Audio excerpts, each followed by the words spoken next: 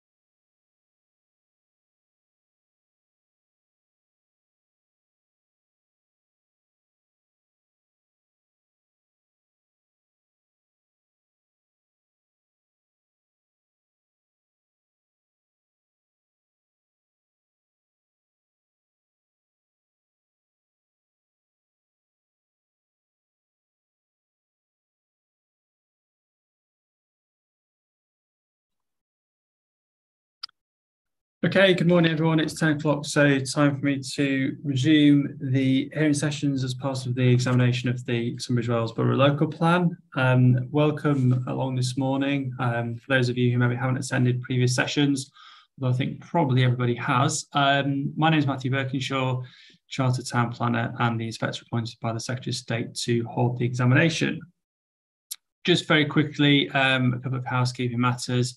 The program officer, Charlotte Clancy, um, can't be with us this week. Um, and so um, Hannah has, has, has, stepped in. Um, the same as previous days, really. Um, so obviously, Charlotte remains the program officer.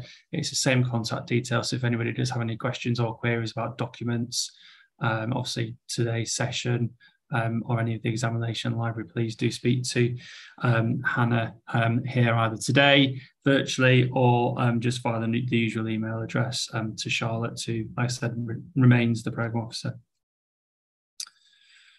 So today's session is um, one of the reserve sessions that we have um, as part of the examination, and I think all the participants who were um, who are down to attend today have attended previous sessions. So I won't go through um, all all the, the usual housekeeping matters about the use of technology and, and the sort of the role and function and purpose of the hearings. So obviously, um, you, you have all attended previous sessions.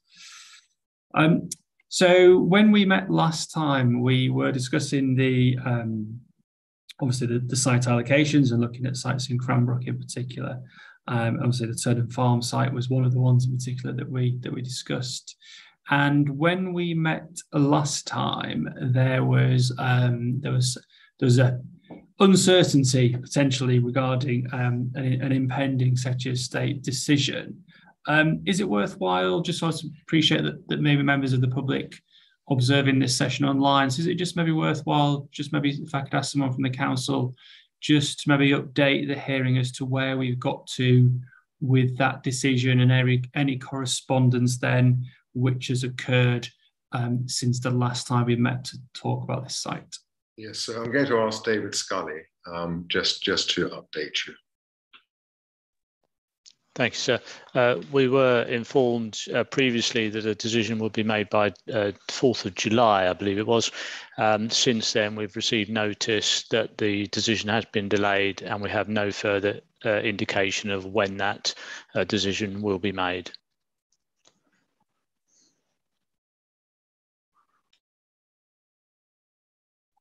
Okay, so no there was no revised date or in, indicative date given then. No. Okay. Um, so as far as the council is concerned, then, um, and, and we'll, we'll get into some of the detail of the allocation, but if in, as far as the council is concerned, um, where do you consider that leaves the examination and the assessment of this site then? Um, so, so far as we are concerned, uh, we believe the site falls to be assessed as part of this examination. Um, we, we are uh, promoting the site as an allocation and believe the evidence base supports it.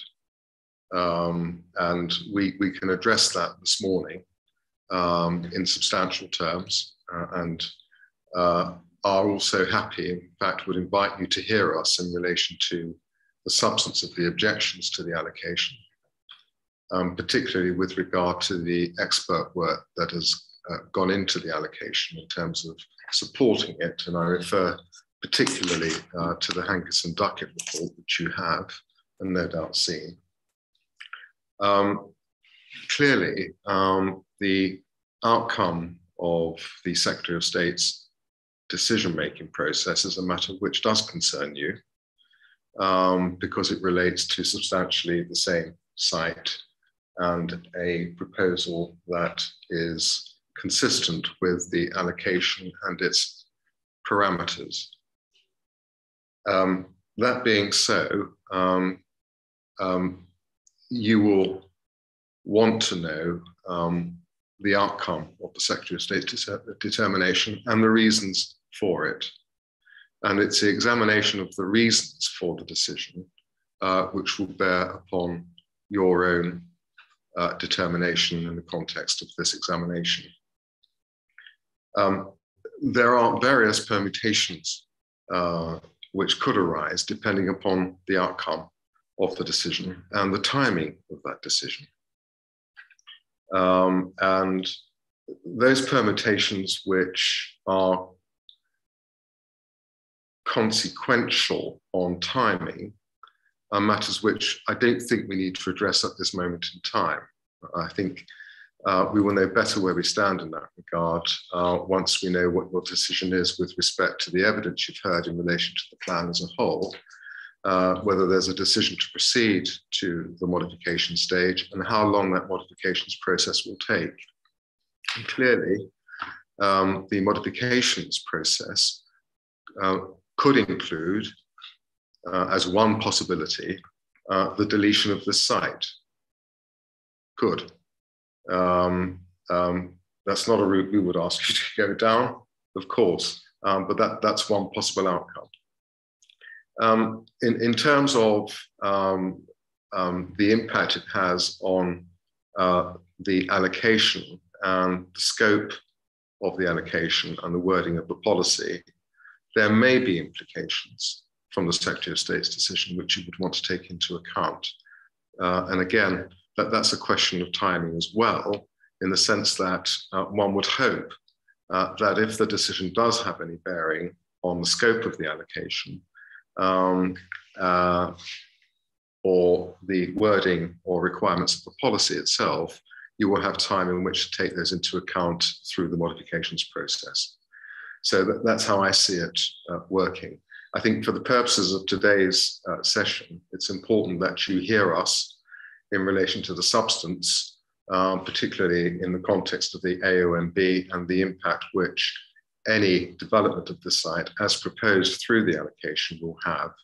Um, and to deal with this, as it were, at plan level, not as, it, as if it were a Section 78 hearing. It's not that kind of session, and your um, determination should be at plan level whatever others might urge, it should be at plan level. So, so that, that's what I say about it. Mr. Merici may, may, may have his own views about it too.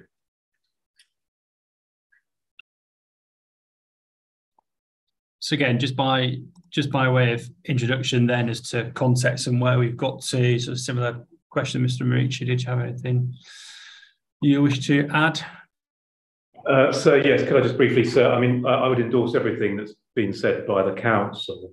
So on timing, obviously, having had the delay, we've had a change in Secretary of State, and we may have another change in Secretary of State. Um, that may mean the decision in terms of when we get it is going could be several months away now.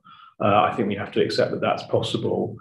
But so we would strongly endorse that um, you can and should consider the allocation on the basis of the evidence that has been submitted by the council and other parties, including ourselves. And obviously, some of that includes material from evidence from the inquiry, which you are, of course, entitled to consider insofar as it's been put before you. And so, can I just make one other point in terms of how we go forward on this? Um, the call in of the application was uh, as a result of Natural England uh, writing to the Secretary of State to object to the planning application. And one of their key points that they made at the inquiry, and so I can give you references to the closing speech that we put in about where the sources of that are, but the key issue they had at the inquiry, the absolute key issue they maintained, was that they felt that if this site was to be developed, that that should be decided through the plan process rather than through an ad hoc planning application. And so obviously you know that they have maintained an objection up to the plan at regulation 19 stage, although they haven't taken part in the examination um, since then. But an absolute key point for them was they felt the better route was to go through the plan process. And obviously, so that may be where we're heading in any event, given the delay in the in the decision. So, so those are the only points that I would make um, at, at, at, that stage. But more generally, we support everything that's been said um, on behalf of the council. Thank you, sir. Uh, Mr. Wotton, again, just any sort of opening comments then, just on sort of context and, and where we are in, in terms of, of the process and alignment with the Secretary of State decision. Um, thank you, sir yes, of course, the, the factual situation is exactly as been uh, as has been described to you. Um, it is, though, inevitable that this um, allocation, if it were to be included in the policy, would take effect subject to uh, the Secretary of State's decision. Um, to include the policy in its present form now is essentially to prejudge that decision. Should the Secretary of State accept the arguments put forward very strongly by both Natural England and the High Weald AONB. Um, the latter, uh, sadly, unable to attend today due to Dr. Marsh's illness, that this is not a suitable site for a major development in the AONB and that the necessary tests in the NPPF are not satisfied, then uh, the allocation would be entirely inconsistent with that decision should the Secretary of State um, come down in favor of the council and the developer, uh, then that's effectively an implementation of, of this allocation. And uh, the um, uh, it, it, really matters not whether the allocation is included in the plan or not. Um, there are various intermediate permutations that might suggest some development other than what is proposed in the application and in this allocation is appropriate. However, in that context, it seems to me that this in, entire session, insofar as it is concerned with the assessment of the merits of the allocation, is, is rather a waste of time. The matter is, to all intents and purposes, in the hands of the Secretary of State. Thank you.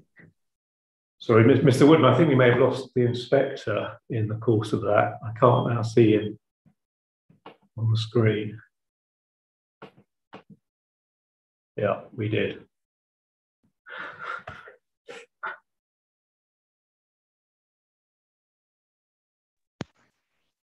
Hannah, can you advise us on the inspector's situation, please? Yes, absolutely. I'm going to email him now. He's just. I think he was there when I began. Yeah. He was there when you began, yes. I think you lost him halfway through. Let's find out.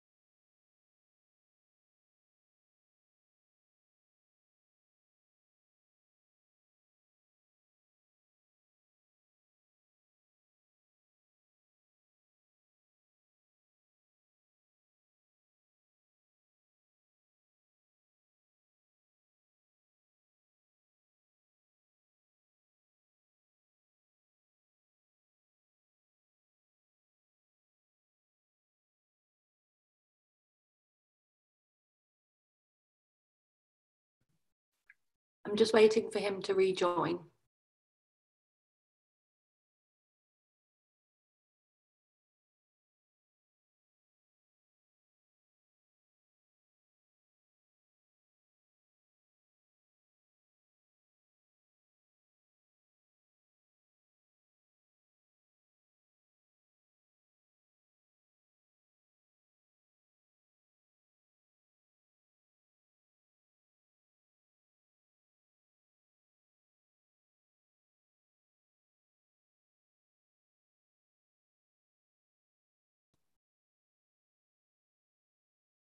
Sorry, apologies everyone. I think that was my uh, my broadband that cut out.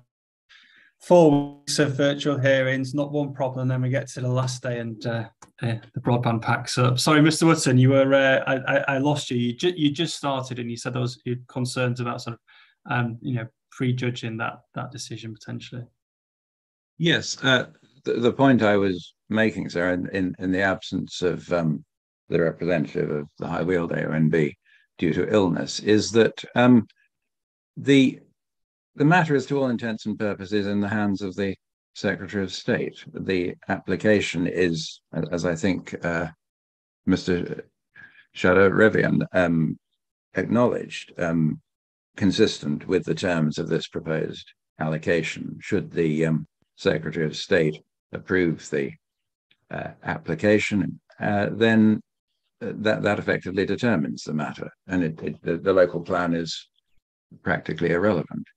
Um, should the um, Secretary of State accept the arguments put forward by Natural England, the High Weald AONB, and ourselves, CPRE Kent, that the site is not a suitable site for a major development in the AONB, um, then the proposed allocation would be consistent with that decision, which would be based upon a, a report by an inspector far more detailed in relation to this site than it is feasible for you in the course of this planning inquiry to achieve. Um, uh, various intermediate um, outcomes are possible, but in that situation, um, the, the, terms of the inspector's, uh, the Secretary of State's decision would be highly material. Um, it, se- it, seems to me that, that for us to spend the day rehearsing the arguments that were put forward in the course of a very lengthy hearing is rather a waste of everybody's time, and that the matter of the inclusion or not of this site in the local plan must and can await the outcome of the Secretary of State's determination of the planning application. Thank you. And I think that's the difficulty of this because it, it's um, you know, clear, clearly, this is a site. The council has put this site forward um, for inclusion within within the local plan, and, and the council has submitted what it considers to be a sound plan, and, and it's for me to examine the soundness and the justification for that. I think this goes back to the points we discussed the, the, the first time round on this session is that we simply don't know the outcome of that decision. And, and, and I don't think it's appropriate to sort of try and speculate what the inspector and secretary state may or may not say um, in in their reports. We we we simply don't know. Um, and, and, we discussed last time, didn't we? It's you know, it was it was a consideration of well, um, you know, planning permission may be refused, but it, it, but that might that might be refused on a very individual or very um, particular part of the scheme, part of the design. And I think at this stage we are just considering um, we are considering the the justification for the for the allocation of the land rather than and, and, and this is the difficulty and, and and and we've had it a lot with you know the, the cinema site was another another example you know the other day where um, you know gets getting drawn into discussions between um, very individual particular um, planning applications and actually the development plan and what the plan you know what the local plan is seeking to do um, if the council's got any additional comments on that. Uh, no, simply to say, sir, that it's incumbent on you, I would respectfully suggest, to deal with this today and not on a contingent basis, i.e., as as a proposal in the plan. Yeah. Okay, so so so looking at the allocation, then we we've we've spent a lot of time um, during this during the course of this this local plan examination discussing these issues and and as I said at the start, you know, we we we started with sort of the, the, the big strategic issues around strategy. So we've already discussed the matters around, um, well, why did the council even look here in the first place? So we've already discussed those issues with, you know, we've, you know, I've asked questions of the council and, and, and, and, and they've responded with, with, you know, with their evidence and their justification to say, well, why are you even building houses in the AONB? Why can't your strategy avoid the AONB? And that goes back to sort of weeks, um, you know, one, one and two when we met in the council offices. The second part of that then moved on, and it was about understanding the um, the methodology the council used. So you've got that high level decisions about where growth is going to go, and then the methodology that the council used to actually determine um, determine the sites. And again, um, it was it was a Friday that day as well, um, where we were all in the council uh, in the council office, and we, and we talked at length about the site selection methodology and and various people around the table, um, you know, put put their representations forward, which they're which they're entitled to do, and sort of criticise that, and and we we had a sort of um, for and against debate about that. So we've had the discussion around the strategy. We've had the discussion about the ways in which then the council sought to um, sought to allocate sites and, and the process with which they they they took and they used. So I think really all that's left to discuss for, for today's um, session then, um, I, I, think as, as the council's advocate pointed out at the start, is, is really to pick up on some of the actual specific objections um, and representations uh, against this site then. Um, Mr. Marici, you've got, you've got your hand up. Any do you, do you, agree with that? I said essentially saying we, we don't need to get back into the strategy or the process of site selection methodology and the history of why the council came to sort of choose growth in this location.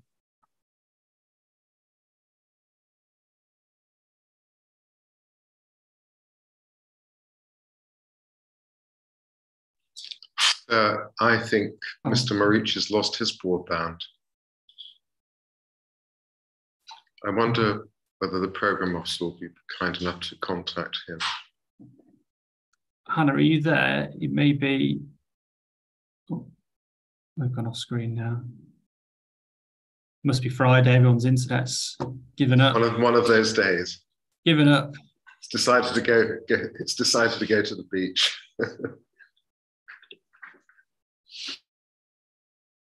let's say we've got all the way through four weeks, through four, four weeks of virtual hearings. We've got right to the very last yeah. session. Um, we've not had a problem.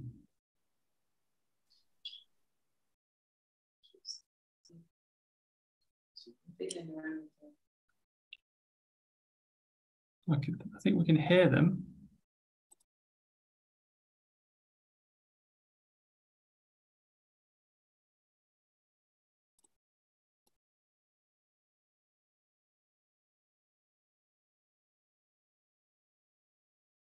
Okay, we'll just give them a minute. Probably having to do what I did and reboot it all.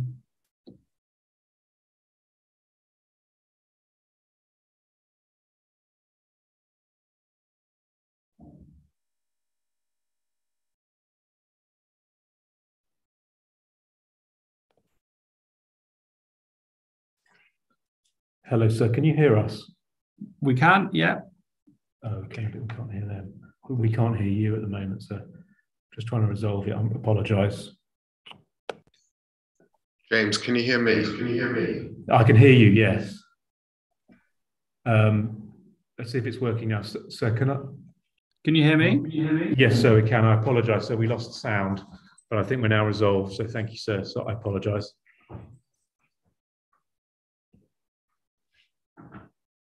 So can you hear me? Yep. Everything okay? Yes, thank you, sir. Okay, so um, as, as I was saying, obviously, I, I think I, I, was saying there we don't need to get back into the, the, the strategy, the reasons um, why there's growth here, and, and, the site selection methodology. And at that point, you put your hand up, Mr. Marici, so I wasn't sure whether you wanted to come in. No, sorry, I apologise. I was, I was only because we lost sound, so it wasn't for any other reason. Okay, thank you very much. Okay, so looking at the um, looking at the potential impacts then, um, what I think it'd be worthwhile doing is obviously at the start of the session, the council said they wanted to sort of go through um, some of the um, some of the, objections and, and, issues that have been raised Um, so I'm, I'm, quite happy to sort of hand over to the council if you want to pick pick up on any particular points. If not, I can sort of lead you through them really. Um, Mr. Scully. Uh, thank you, sir. I think it's easy to go through them. Uh, you have, uh, uh and it's really, we're focused here on uh, the AONB unit who've made Pacific reference. Natural England were concerned in principle, and as has already been intimated, they saw this as something to be decided at a local plan examination.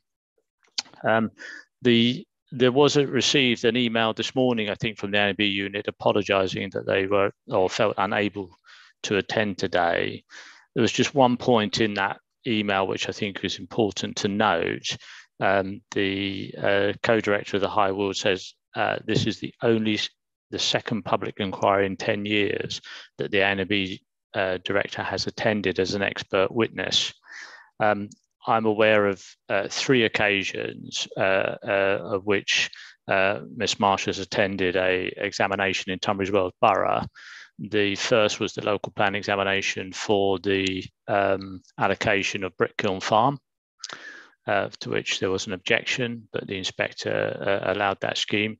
The second was Hartley Gate, which is a smaller site, and originally was in Regulation 18 um, there was an appeal on that site. It's not in the plan now, and that's immediately to the west of um, uh, the site we're discussing today. And finally, it was at the Turnden uh, examination. Um, there may be other sites across the AONB that she attended, but I'm not aware of those. Um, you have two representations that relate to uh, this site. One was in relation to um, matter two, issue one. As you said, there's no need to uh, go over all of that, but there's one particular point in there which I think is relevant uh, to this site, uh, and it was their statement at 3.6, referring to objective S2 of the AONB management plan, which seeks to prioritise the delivery of new housing primarily through small scale development and a mix of housing sizes that responds to local needs. Um, what is important here is that delivery is primarily through small scale housing. That it clearly indicates to us that there will be occasions when new development will be provided on larger scale developments. Um, our provision in this plan is mostly smaller scale and of the 24 allocations for housing in the AONB, we cover this in Appendix uh, 3, Matter 3, uh, only six are considered to be major and a further four on a cumulative basis. It's worth noting that 18 sites proposed in AONB at Reg 18 were removed at Reg 19. The Council has to consider other matters in addition to the AONB, even though it has great weight, including sustainability. And this is a highly sustainable location. So it's not surprising one of the larger developments is at this, at this site. Um, and it's also pertinent to note that smaller scale sites may not deliver the necessary uh, improvements and so on. And the last sentence shows that this is an in principle objection from their representation that major development cannot be accommodated within the AONB that is not what national policy uh, says, uh, and we've, we, have we've, we've been through that. Um, the unions have also submitted a statement uh, for matter seven, uh, Turnden Farm, uh, stated the 23rd of June. And uh, there were a few points to go through there. It does talk about the landscape evidence base for the allocation and you'll see paragraph eight there. Uh, it refers to the Hankinson Duckett LVIA. You'll see, sir, that the uh, Natural England have uh, agreed this work. They do say that it's not in itself uh, um, uh, justify allocation, and we agree that point, but it's part of the evidence that needs to be provided. However, the unit have criticised that and they say things such as in here, the description assessment Turnden omits positive features, reinforces negative ones. Especially notice is the focus on derelict and disused pony paddocks. No mentions made of perception of rural tranquility, uh, etc. And that goes over the page on their statement and talks about unsubstantiated claims made uh, are made such proposals are in keeping with Cranbrook's existing settlement pattern. So if we take up the Hankinson Duckett LVA, which is 3.96E, um, I'm afraid, sir, it is not uh, paginated. But I think um, we've touched on this many times, but it's worth um, uh, looking at the document itself. Do you have it, sir? Yeah, yeah. I've got it, got it in front of me. So um, you'll see the first part of it is looking at the settlement as a whole. And whilst there are three sites to be considered there, CRR6, which is actually the Hartley Gate uh, scheme, uh, which is now no longer in the plan. Uh, CRS4 and CRS7. CRS7 is no longer in the plan, but it also shows all the other allocations.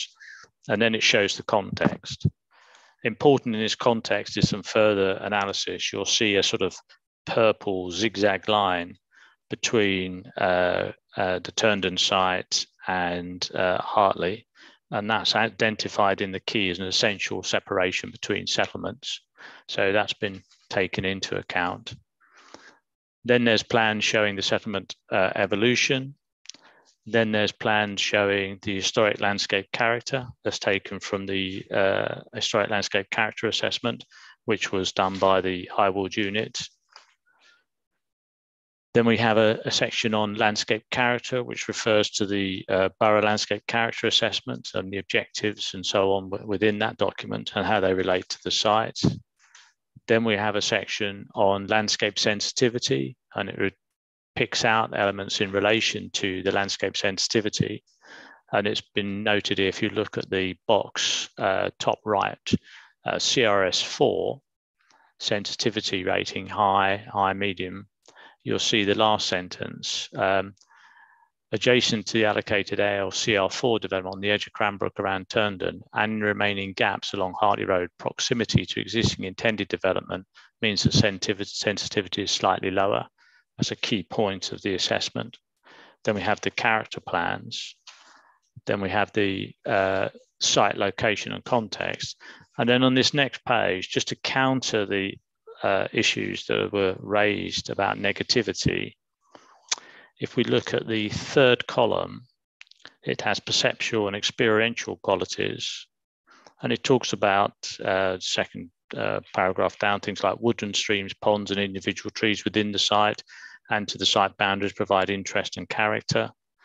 It then talks about an attractive view over open pasture towards Cranbrook, but it does also then say about the detracting elements. We then have in terms of the last column, representatives of AONB qualities. And you'll see, sir, there's a section there on settlement and it talks about historic farmsteads within the site, Turnden Farm, Henniker Farm, of which only the ponds at Henniker Pit remain, and goes on to talk about the routeways um, and the development of the site's potential to influence the character of these routeways. So it's hard to see how this is not um, uh, balanced in that way. The statement then goes on to say benefits are claimed without a balancing view of what will be lost. And uh, unsurprisingly, given this bias, uh, it, it bases its judgment on, and also talks about um, new woodland wild malflows are said to replace disused pony paddocks. Um, and uh, that um, it talks about um, benefits claimed without a balancing view of what will be lost. For example, a new woodland screen would apparently be beneficial for people using the right of way. So if you turn the page, you come to the assessment sheet. Um, so there's a there's a plan there showing the uh, Reg 18 and Reg 19, and following that, there's the assessment sheet. And then in the last uh, column, it talks about potential to avoid or reduce effects. So this is exactly what this column is doing. And this is where the reference is made about um, the apparently beneficial use uh, uh, there. But this column is all about what potential there is to avoid or reduce adverse effects. And it talks about there some of the mitigation measures that can be can be done there. And this is where those comments are picked up from. So the proposed woodland would further screen views of both the proposed allocation and the permitted development to the north of the site and at Turnden Farm, which would be beneficial for people using the right of way because it's screening views of, of the allocated development in the uh, south. Um, the draft allocation, open space and proposed landscape buffers would maintain the sense of separation between Cranbrook and Hartley. Um, the proposals for new woodland planting to southwest of Turn would effectively screen the development edge of views from the footpath and southwest of the site. Proposed new woodland together with wildflower meadow planting would replace disused pony paddocks, etc. So these are potential to avoid and reduce uh, adverse effects. The overall uh, conclusion uh, of that assessment was provided in the um, uh, overarching uh, report to that uh, um, section, uh, which is 3.96a. That is paginated. it's page 17, and it says Turnden Farm, Reg 18, medium, Reg 19, medium low. And so that's consistent with other sites we're allocating, and indeed is perhaps not the one with the uh, uh, highest uh, adverse effect. Um, there is reference, I'm sorry, so I'm still with the AONB's comments, matter seven, issue seven. Uh, I've moved on to um, paragraph 14. And here it's talking about the historic field pattern. Um, and it says sometimes uh, the evidence in terms of the historic uh, landscape is sometimes uh, evidenced as retained hedgerows, shaws, sometimes as gappy hedges or single trees, and sometimes only as ephemeral ditches and hollows. But to the experienced eye, a landscape historian can tell a story of the High Weald, which once explained can be appreciated by all its residents and visitors. So the majority of remaining features on this land are not only avoided, they are protected and enhanced, and a great number are also restored, particularly in relation to hedgerows and wooded shaws and watercourses. Um, so I think it's useful, sir. You were also submitted a um, a statement uh, by uh, on behalf of uh, Berkeley Homes in relation to Matter Seven, Issue Seven, by uh, Lichfields. Um, and that has an appendix four. I don't know whether you're able to turn that up, but I think it's uh, quite useful um, to uh, look at. And if we just go through that, I'll just, uh, so page four, there's a single page, and then there's a references the landscape proof of evidence, and there's a contents what the evidence covered, and we're not going over that. But then you come to a plan, which is um, on my electronic page five, uh, adjacent to 6.1.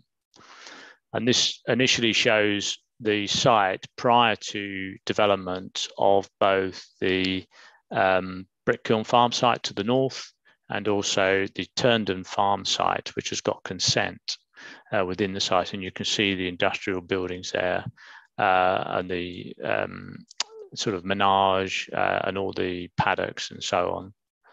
Um, so that gives you an idea of the structure of the site in, in a much clearer uh, situation. Um, won't go on and talk about that particular development, but this, the, so there's one plan there, but then you come to the electronic page seven, and this shows you the features that are being uh, protected and enhanced and restored. Um, and so the woodland, uh, existing woodland, and this is related to Henniker's Pit on the farmsteads where the farmstead's no longer there, but ponds are and woodland is. Uh, they're being kept and uh, um, uh, enhanced and buffered. Um, the agricultural landscape to the uh, southeast is being retained and enhanced, and historic uh, hedgerows are being replaced. Um, between the development area and the, that agricultural land. That's an important feature.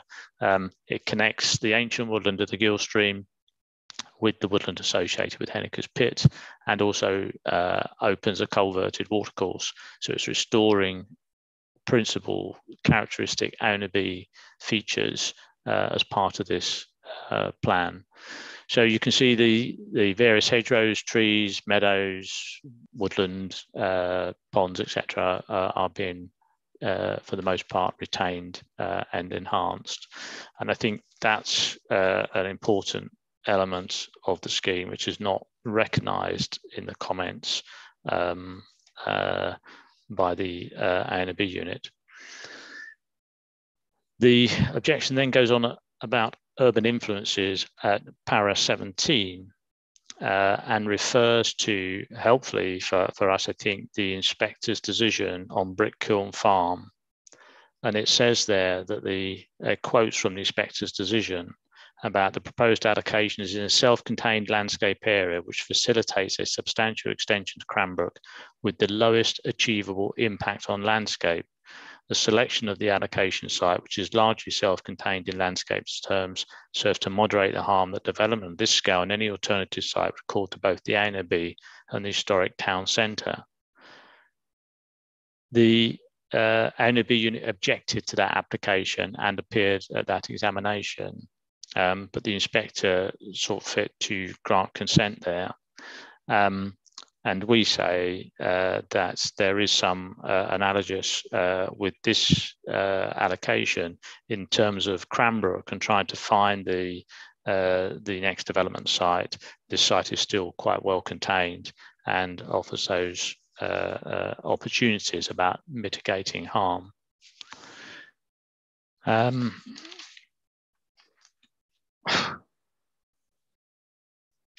There's some discussion about uh, 19, para 19, about the effect on the consented scheme for the Turnden farmstead, about how this allocation will undo that uh, uh, allocation.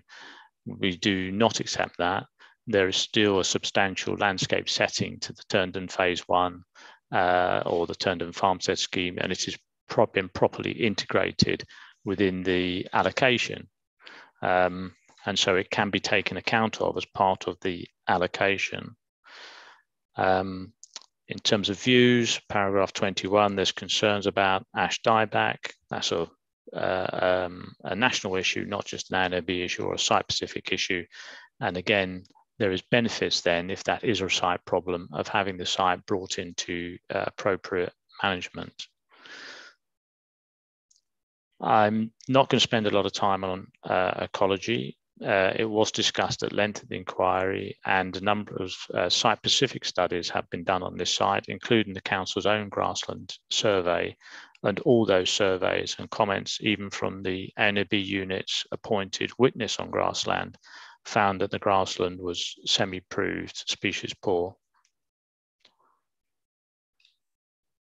Um, I think so that's all I want to say about those uh, comments but most of this has been about the what potential harm there was and what about the mitigation there was. But one of the aspects of this site and is important for planning is the opportunities that it offers. Um, this site does connect existing and proposed development with green routes to promote active travel. There are east-west routes being developed as part of this. It brings significant areas of land and countryside and open space into positive management. You can see the balance of green space and uh, development, which is very, very significant. It improves the quality and extent of public access to green space and natural environment. It provides connections to the consented developments uh, into the landscape through uh, permissive paths and, and improves the connections to those paths that are there. It protects and it strengthens uh, important uh, green corridor for Cranbrook and the Crane Valley and its associated ancient woodland. Uh, it protects and restores important landscape features which have been identified on site and through all the uh, landscape evidence. And it provides for a uh, robust and well integrated edge of settlement similar to the decision made at Brickkiln Farm. And this edge of settlement is likely to endure as the uh, surrounding green spaces and landscape features are all covered by Section 106 and legal agreements, so they will endure for the lifetime of the development or in effect in perpetuity. So, sir, I take you back to the LVIA and say this is our evidence, and it is been considered in some detail and looked at all the pertinent issues raised by objectors to come to a view that this uh, is a suitable site, but it was also taken in the wider issues that the council has to consider in uh, making and putting together a local plan that delivers on local and borough needs.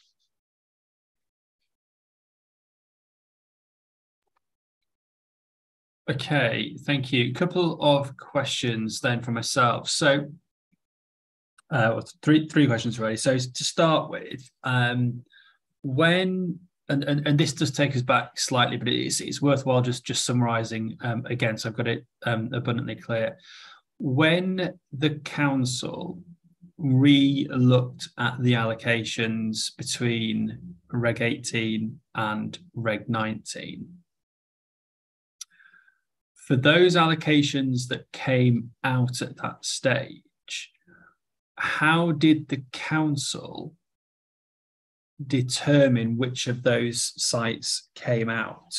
Did you, and, and again, we, we, we, talked about this, but did, did you look at every site again afresh and, and just look at them on a site by site basis? Or did you, as part of that process, um, have in mind the need to, um, you know, have an amount of development in particular locations, or was the strategy almost put to one side and it was just for, um, solely focused on land suitability, suitability of sites? Sure. Um, you've had a lot of evidence on that already, I think, and I, I, I don't want to um, uh, uh, go over and say things with other colleagues who might have dealt with that in more detail are not here, so I won't go into too much uh, detail. Um, my clear understanding in terms of the work we've done for the LVAs is that we looked at them afresh. We looked at them, we, we proposed the Reg 18 sites, we agreed with Natural England which sites were considered to be major or likely to be major, and we commissioned LVAs for that as you'll have seen through various discussions, some sites were included, even though they weren't uh, major, because we, at the time of starting that work, we included them on a precautionary basis. Um, in terms of looking at the plan as a whole, my understanding is that um, we uh, did a new SHELAA, we looked at the sites, we considered all the issues afresh and about whether these sites not only were deliverable in landscape terms, but were sustainable um, and uh, uh, provided the, um, the, the benefits that the plan needed to provide.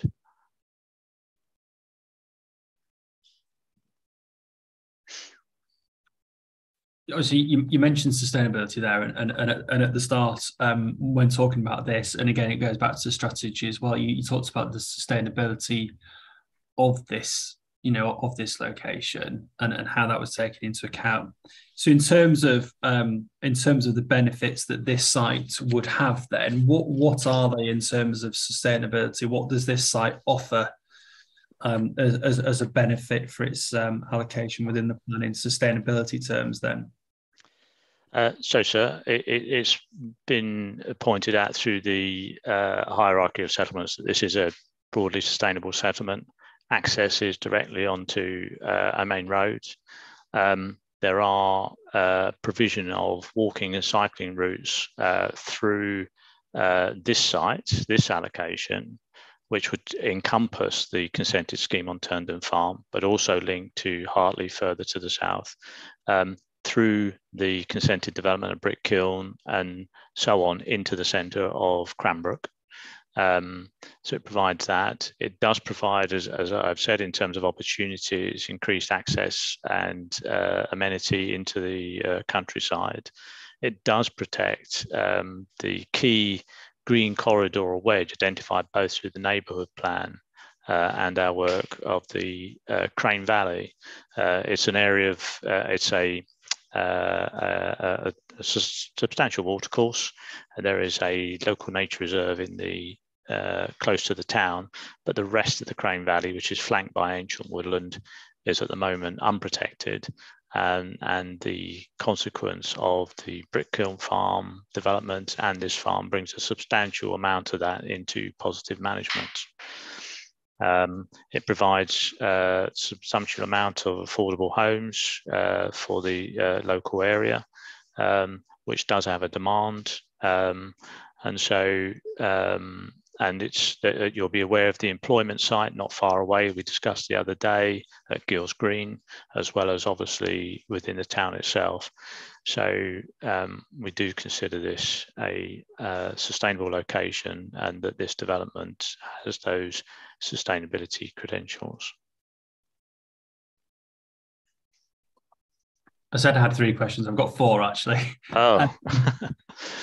you, you, also talked about the um, sort of connectivity then with um, sort of neighbouring sites um, and allocations and, and, and, which are approved as well. Is there a plan? I'm not sure whether um, Ms. Marici might might know this. Is is there a plan within an, either an, an adhering statement or evidence submitted which shows then the relationship between the other allocations in the local plan and again, you know, looks at connectivity and, and how they sort of sit alongside each other?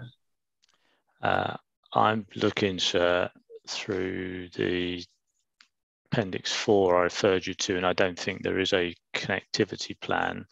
Um, we did discuss this when we discussed brick kiln. Um, and I'm, uh, ah, uh, uh, there's a footpath, existing footpath plan.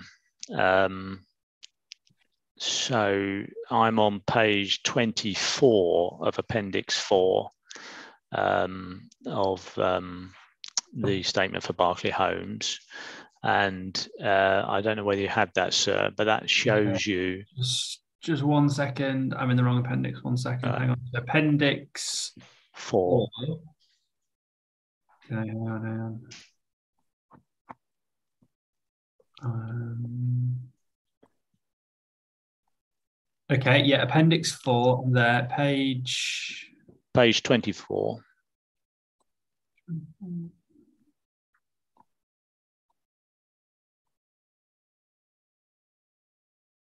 Okay, yeah.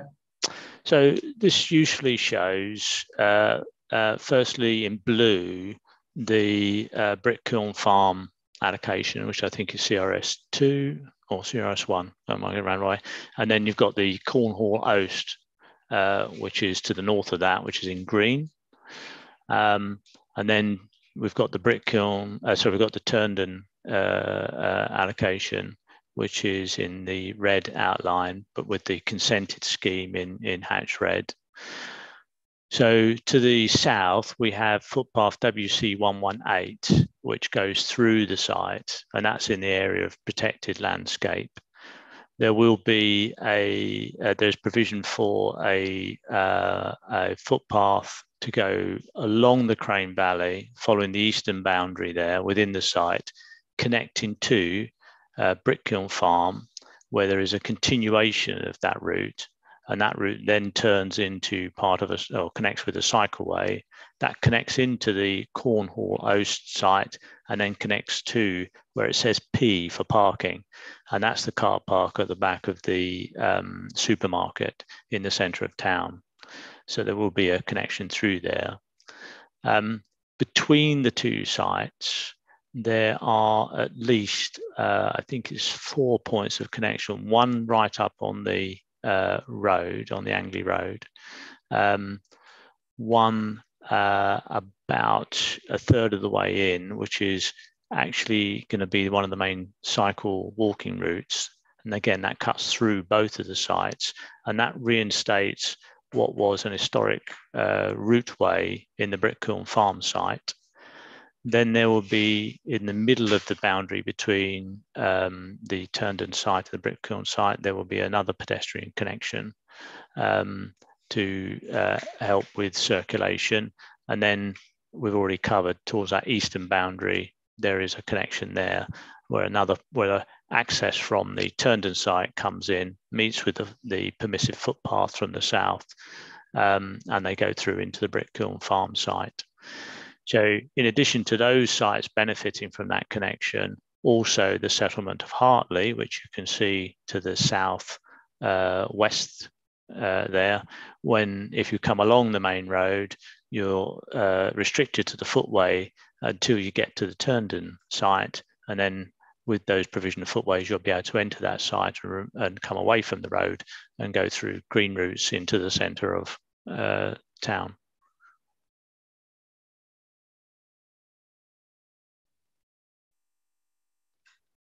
And we had um, discussions on these connectivities and routes um, between the developers for uh, Brickkiln Farm and Turnden with the parish council um, to make sure we'd adequately covered um, the concerns about connectivity uh, that were raised.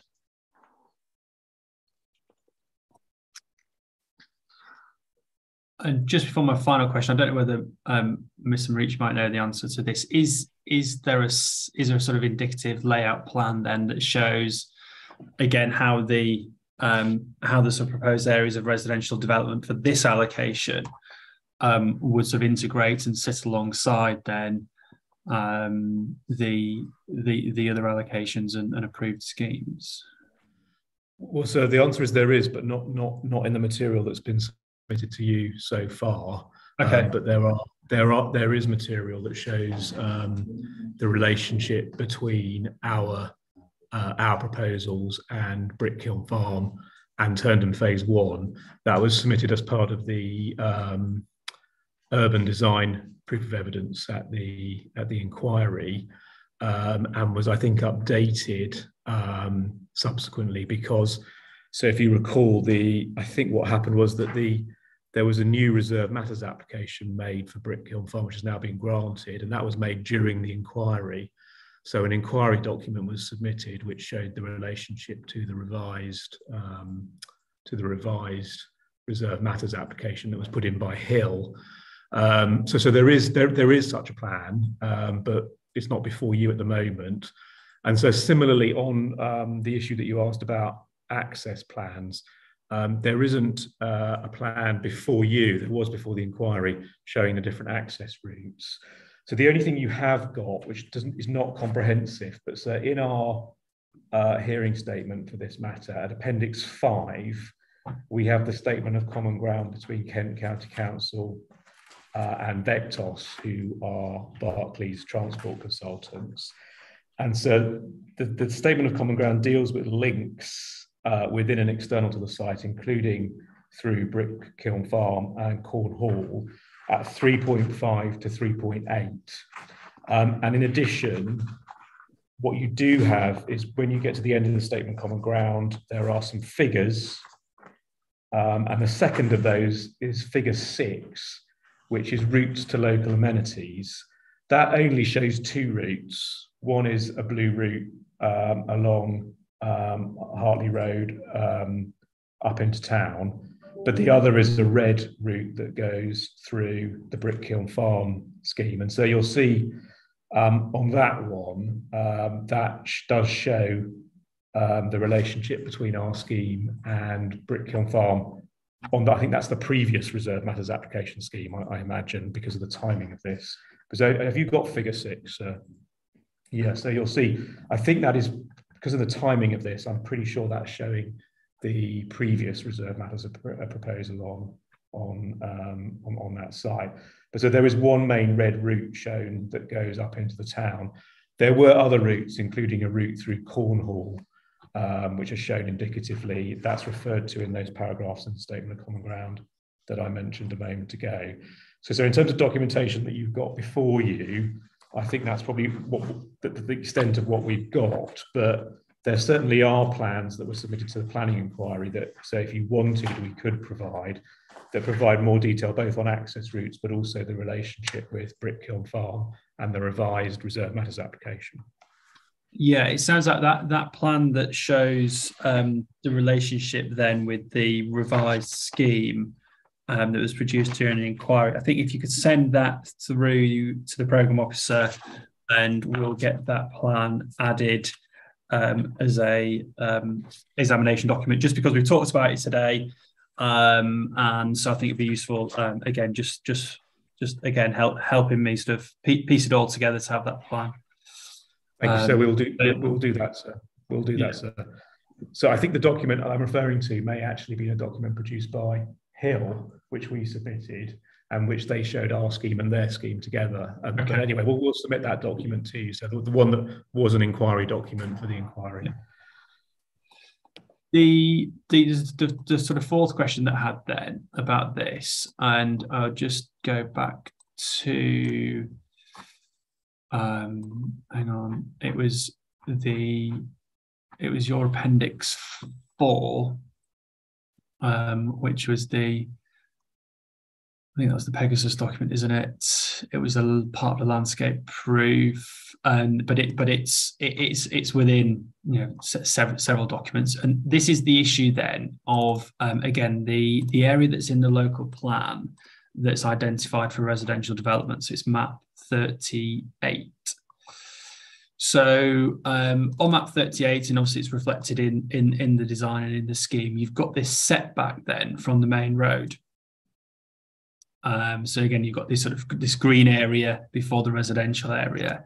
And just in terms of that very sort of northern and, and northwestern part of the site, then, and again, maybe for the council to answer in the first instance, what was the what's the reason for that? And so presumably, is that where the main site access will be.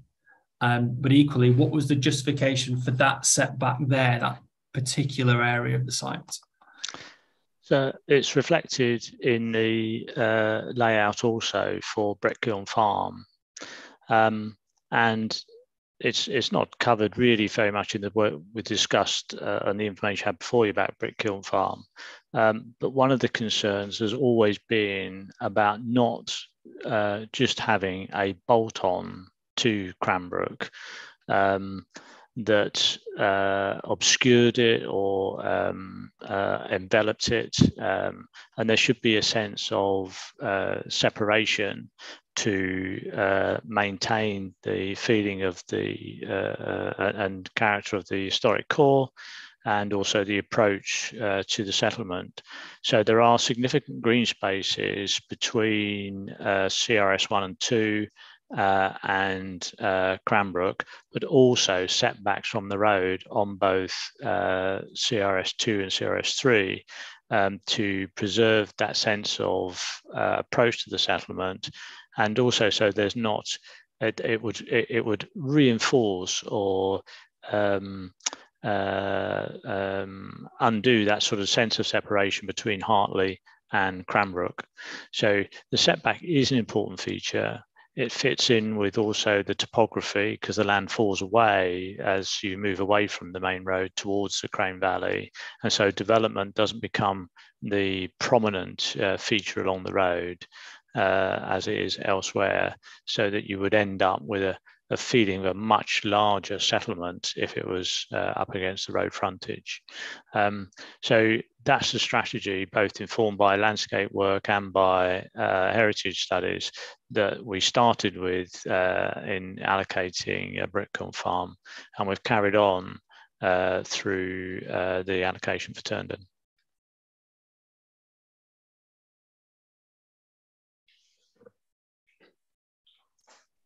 Uh, Ms. Marici?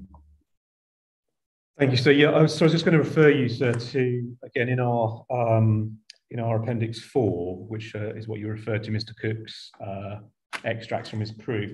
So if you go to numbered page 59, you should have a figure 41 screened SZTV, including phase two, not, not to scale.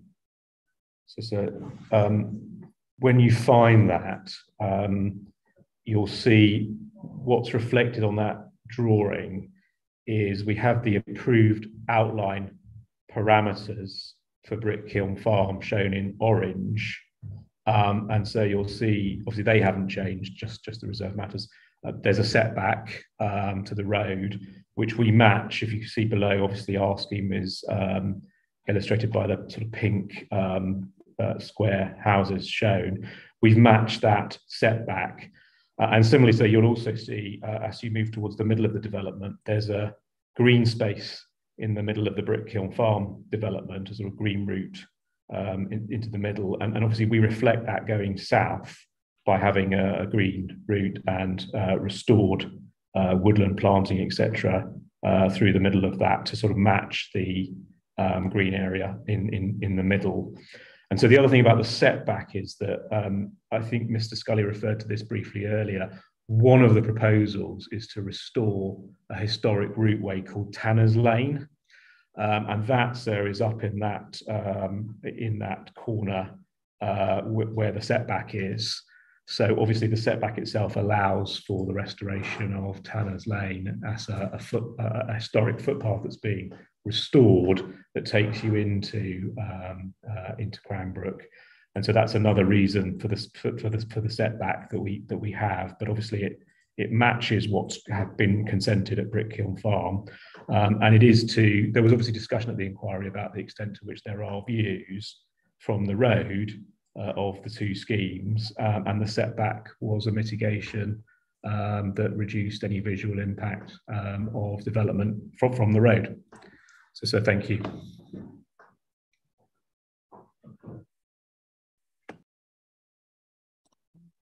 Uh, Mr. Watson? Um, thank you, sir. Um, I hesitate to intervene since uh, Mr. Scully has been dealing with uh, objections raised by the High Weald AONB rather than anything CPRE contributed. But I, hope I can usefully make one or two comments. And the, the first is that um, uh, I'm sure you'll look at the uh, statement by um, the High Weald AONB uh, as a whole, uh, notwithstanding the, the absence from the hearing of their representative due to illness. Um, the other thing I would say is that um, we, uh, in common with um, uh, represented by Lichfield, have provided uh, links or copies to various documents that were submitted in the Turnden inquiry. Um, all of those doc, all the documents in that inquiry are available on the council's website, and it, it seems to me you might usefully uh, look at those which haven't been formally drawn to your attention, as well as those that have.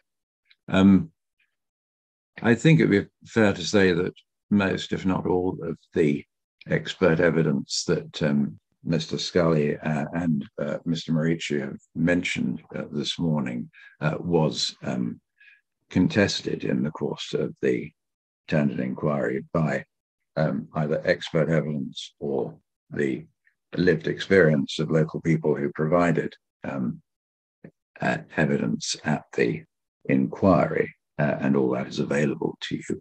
Um, I, I, can't speak for the other parties, um, but in our closing uh, statement, uh, which um, uh, is appended to our hearing statement, um, uh, we, I endeavored to give our take on how matters stood on those matters. Um, you'll, you'll, appreciate that um, uh, none of those who objected to the inquiry are able to devote the time, resources, or budget to um, uh, either that inquiry or, or this proceeding that um, that Berkeley and the council are able to do. Um, I think I, I, would, if I may, make a, a couple of specific points. Uh, Mr. Scully, in, in, in describing the um, impact of the proposal, so of the allocation on the landscape, did, did refer to um, Lichfield's um, appendix four, and in particularly to a map that showed the um, uh, the way in which the undeveloped area would be laid out and managed. And I, I, I think it's true to say that I mean th- those are um, specific proposals in the application. Um, that, not all of that is or can be um, guaranteed by the, um, uh, the, the policy we're, we're, looking at now, which which is much briefer and in more general terms uh, in its references to green infrastructure and so forth. So probably you, you shouldn't assume that matters would be uh, that the policy guarantees all, all the measures that um, Berkeley's put forward. Um, in relation to the connectivity um, and the links with neighbouring settlements, um, I, I, may have misunderstood which which map was being referred to, but uh, I, I, was looking at the um, the the Cranbrook policies um, map um, from the local plan. And I, I, think that shows two things which have of relevance that have arisen. One is that it shows quite clearly that the the three proposals looked at together of um, uh, uh, Turnden, sorry, the three allocations looked at together, Turnden, Brickkiln Farm and Cornhall, um, unquestionably attached to the settlement of Cranbrook, uh, what is currently um, an isolated farmstead, uh, I should say an isolated former farmstead, Turnden, uh, on which um, a consented development is now taking place, which is being marketed as a farmstead development. Um, it is substantially on the site of the former farmstead buildings. Um, the, the, the second point is, is that uh, Mr. Scully mentioned the importance of the setback and in the green strip between the Angley Road, Hartley Road, A229, and both uh, Turnden Farmstead, uh, the proposed uh, Farm development, and Brickkiln Farm, um, and how that uh, maintains the in his view, the, the separation between Hartley to the southwest and Cranbrook to the northeast. Um, the point I would make is it is a very tenuous separation, and, and it depends upon the observer of the landscape recognizing that um, the green gap, as, as, I think the landscape expert, Mr. Cook, uh, who uh, gave evidence on behalf of Berkeley the inquiry, described as the the the the, the landscape flowing over um, what is described in material before you as the ribbon development of Orchard Way, um, which is between Turnden Road and uh, both uh, Turnden Road and the High Street on, on the northwest side of, of Angley Road. Um, the it is not a, a, a, concept, I think, that's flowing over that, that, that most non-specialists would would comprehend. Um, what, what remains, it, truly green, is a, a very n- narrow group of fields to the northwest of the um, uh, of the A229 and and the strip of green which is retained um, between Angley Road and the proposed development area, um, which viewed from the road will not look very substantial. Uh, and then the um, the narrow field in what one might call the extreme, the the, the, the, southwestmost point at which the um, uh, the, the the allocation of Turnden uh, reaches the the ribbon development at Hartley. So the at the very least, the, the separation is, is very greatly reduced. Um, in our view, it is to all practical purposes eliminated. But we are not, of course, landscape experts in the way that um, Berkeley's expert witness was. Uh, the final point I, I can make, if I no, I'd like to make, make two points if I can. Uh, the connectivity um, issue. Um, everything that was said is is is correct in terms of routes, but uh, I would make the point that the connectivity still depends upon the developers of the separate sites um, connecting them up in the way that is envisaged. Um, there is a reserve matters applic- uh, permission granted now for Brickkiln Farm. Uh, that, that may achieve a certain amount and enable the um, uh, those who live in a future development of Turnden, should it happen, to um, go through Brickkiln Farm and up onto Cranbrook High Street um, at the um, the point that's indicated on the policies plan. Uh, what the any future development of Cornhall will do, if anything, um, is unknown to any of us. Uh, as, as, I said at the previous hearing, nothing has come forward in public about the development of Cornhall since that time. Um, finally, Mr. Scully did, did, refer to the sustainability of the site.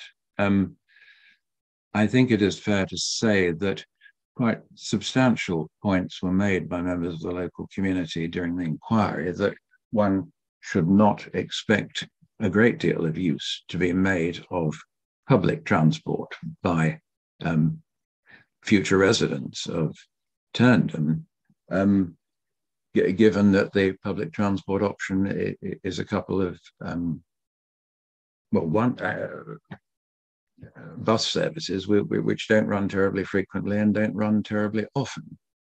Also, the, the sheer distance from uh, Turnden to the centre of Cranbrook, which is apparent from the um, the plan, um, suggests that uh, many residents, uh, particularly those perhaps with small children or heavy uh, uh, shopping to carry or whatever it might be, will will, will continue to choose the um, their cars when making local journeys. Um, those are the points I'd like to make arising what's been on, on from what's been touched on so far. Thank you.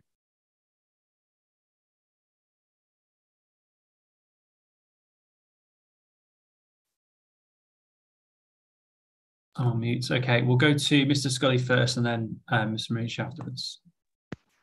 Uh, thank you, sir.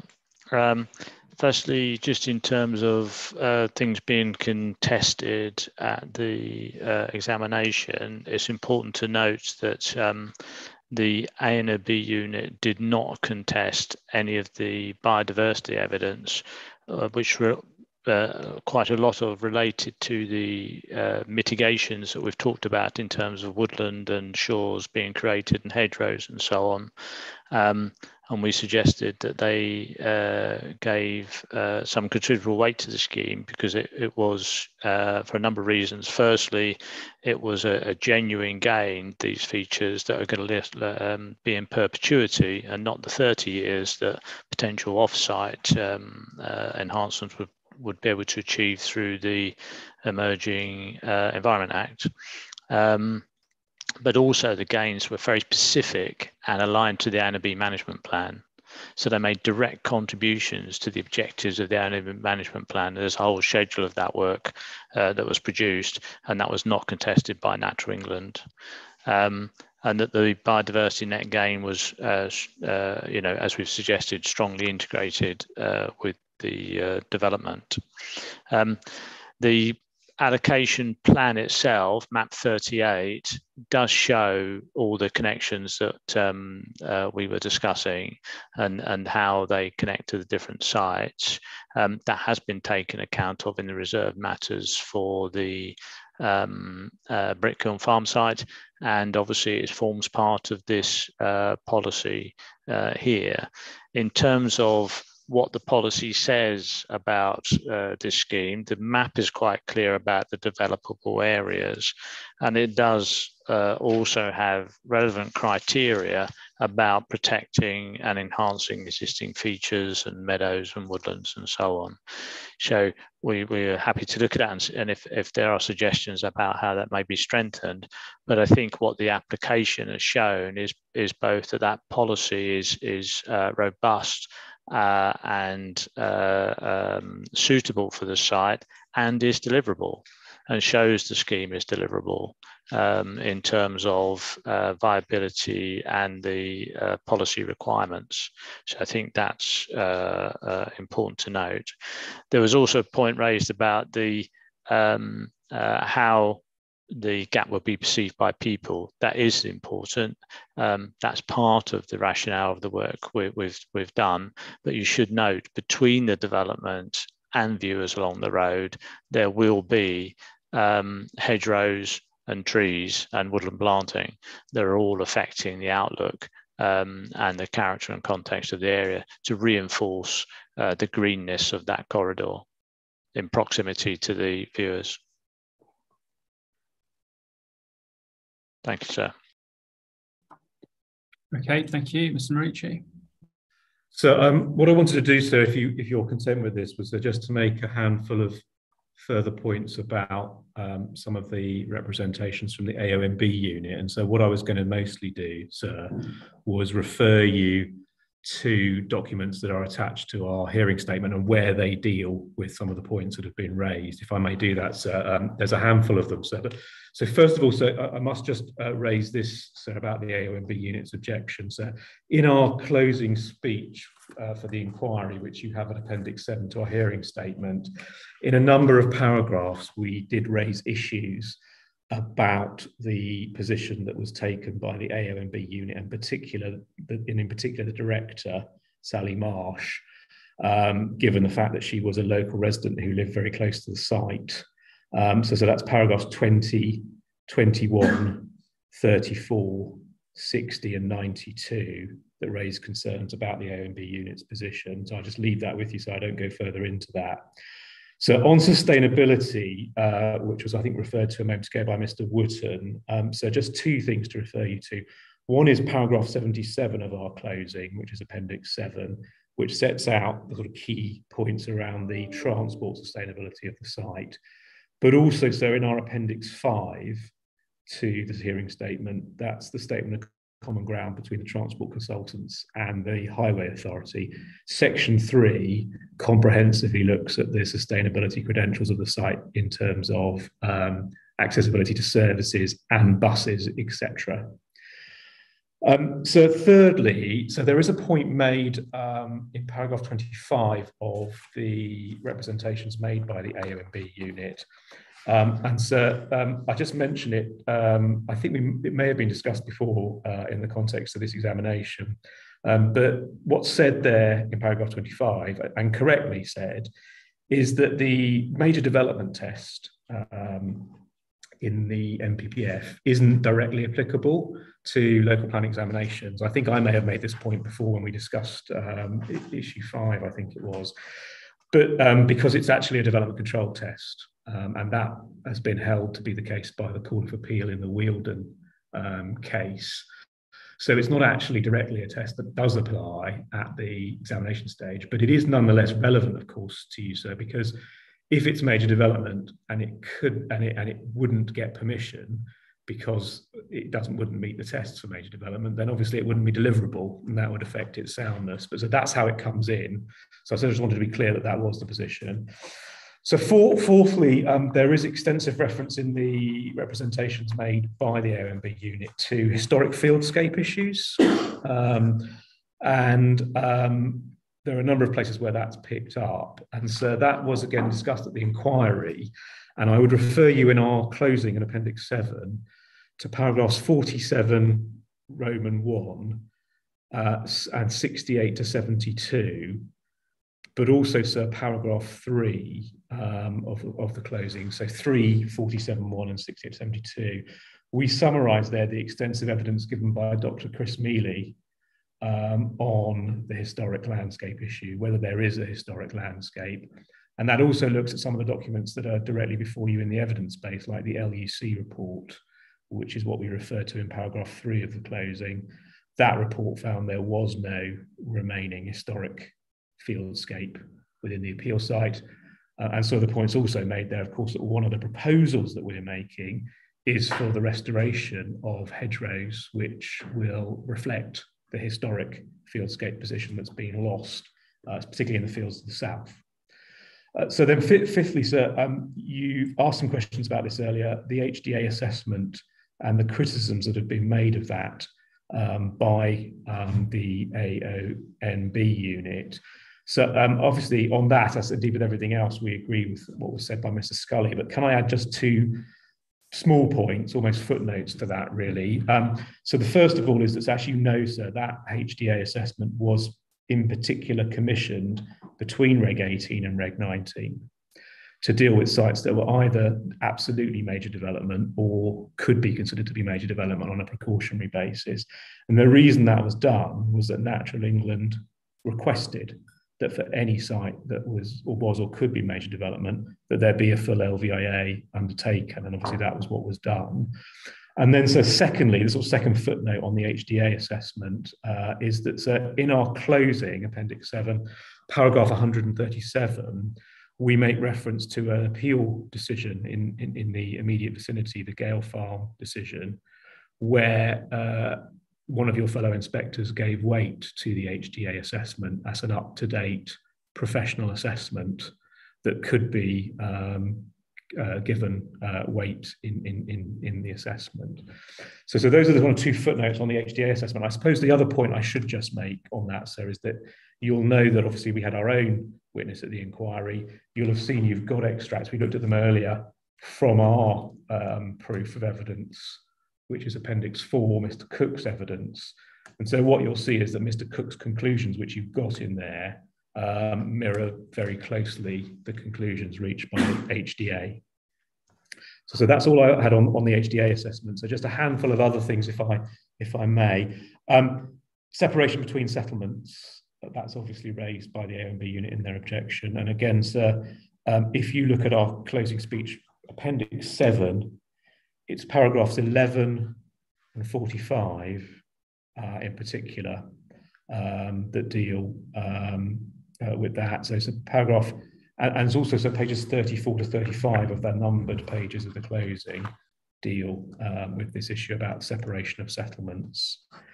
And then, so one other uh, issue that's related to that, not quite the same, and it's been mentioned, I think, by Mr. Wootton this morning, is whether the the proposals uh, for phase two fit with the design ethos for phase one.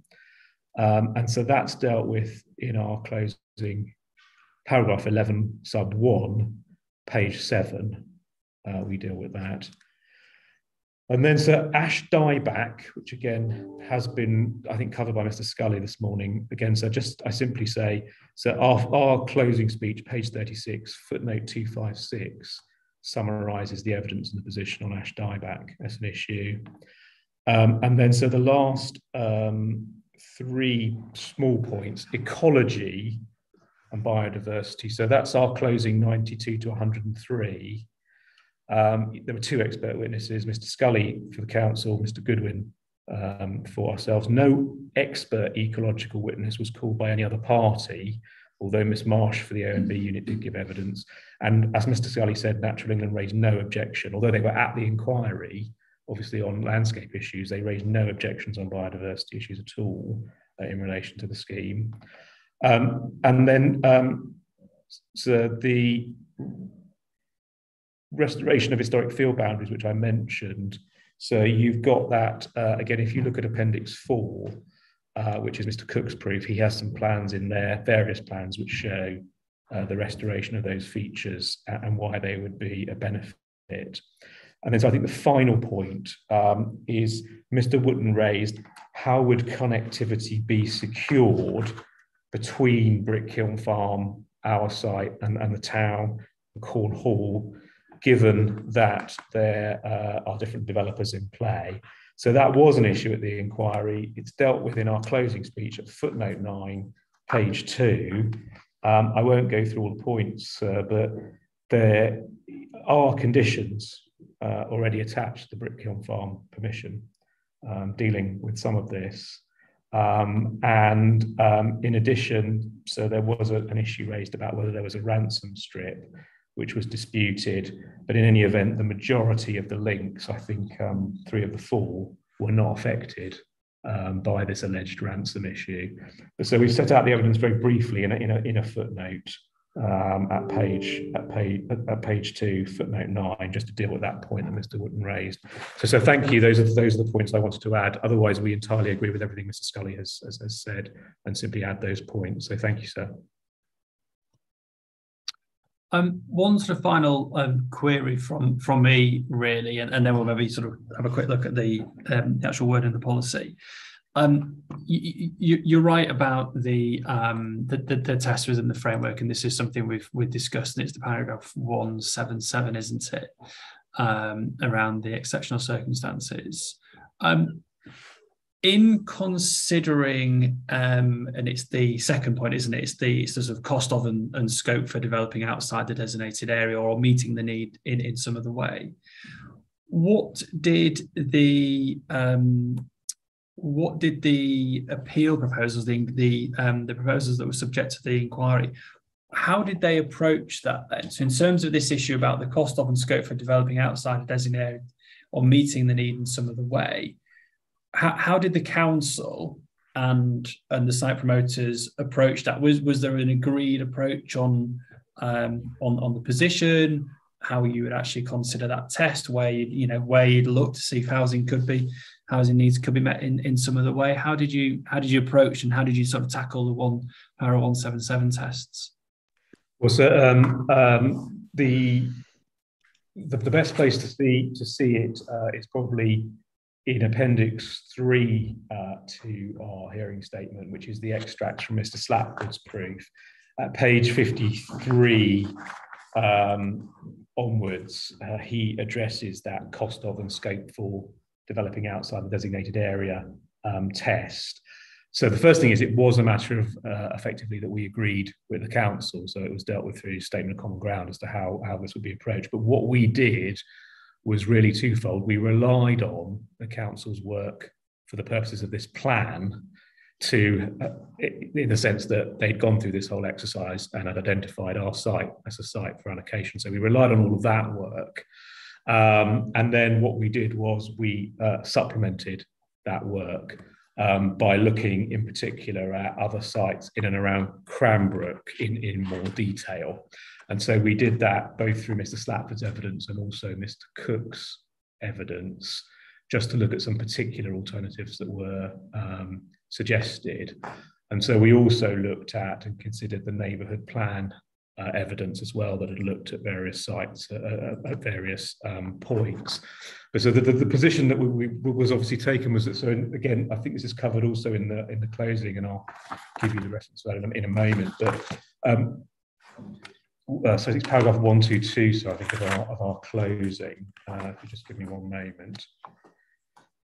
Yes, yeah, so, so 122 onwards, we deal with um, paragraph 177b, and alternatives. And obviously, so that we address in paragraph 123 the Wealden um, case, um, which makes clear that there is actually a very wide margin of appreciation for the decision maker as to how you look at alternatives for the purposes of that test. It's not sort of mandated or, or, or restricted. Um, and then you, so you'll see the way that we sort of map through it. We look at what the legal position is in 123. Um, in 124, um, we look at the constraints there are borough wide uh, in terms of AONB, uh, in terms of uh, other restrictions, including green belt. So then we look at um, uh, the burden of proof on that. And then at 126, um, we look at, in particular, sites in and around Cranbrook. Uh, and obviously, so the, one of the reasons we focused on that was obviously there's a recognition that there is a housing need, not just district wide, but also in Cranbrook, of course.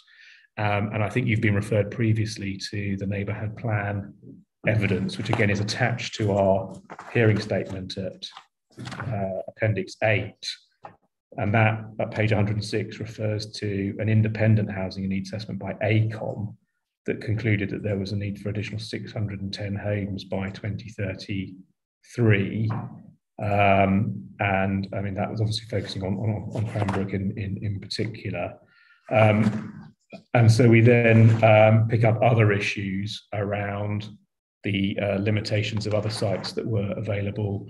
And so that, that goes on in a number of paragraphs right through, I think, to um, page, um, also I think certainly page 99, so dealing with alternatives. So, so there was, an, there was a, a degree of agreement between ourselves and the council uh, about how this was approached. Uh, we did rely heavily on the evidence base that you have before you, same evidence base. We also did some supplementary work uh, as well um, to, to support that. Um, and uh, in, in, addition, um, obviously, the, the main party that took the issue about alternatives was actually Natural England. Um, but so their main point was we shouldn't place too much reliance on the evidence base for the examination because that was a matter for you, sir, rather than for the inspector at the inquiry. And their view was it was better that this site, if it's going to be released, be released through your process rather than the inquiry. They didn't call any sort of detailed evidence on alternatives. That was their kind of broad brush point. So, so I hope that assists. I'm happy to assist further if I can. I think Mr. Scully's got his hand up as well. So um, just before I go back to Mr. Scully, um, a, a, a, sort of question really, um, seek, seek, your views on this because it's a question that I asked. Um, I asked people. I can't remember if you were there actually. I'm not sure if you were, but maybe you were. So apologies if you if you were. I've, I've talked to a lot of people over the last um, four weeks at this examination.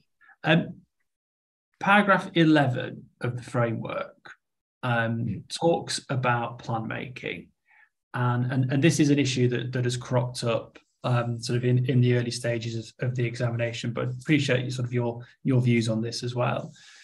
Um, we, paragraph 11 then um, states plans and decisions should apply presumption in favour of sustainable development. Uh, for plan making, uh, this means, and it sets out A and B.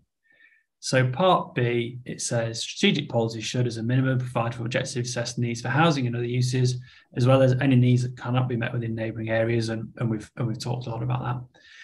Unless the application of policies in this framework that protect areas or assets of particular importance provides a strong reason for restricting the overall scale, type, or distribution of development. And then there's the footnote, and we go down to the footnote, and it says policies are referred to in this framework include um, several things, green belt, and that was a lot of the, the topic of conversation, but it also says an area of outstanding natural beauty.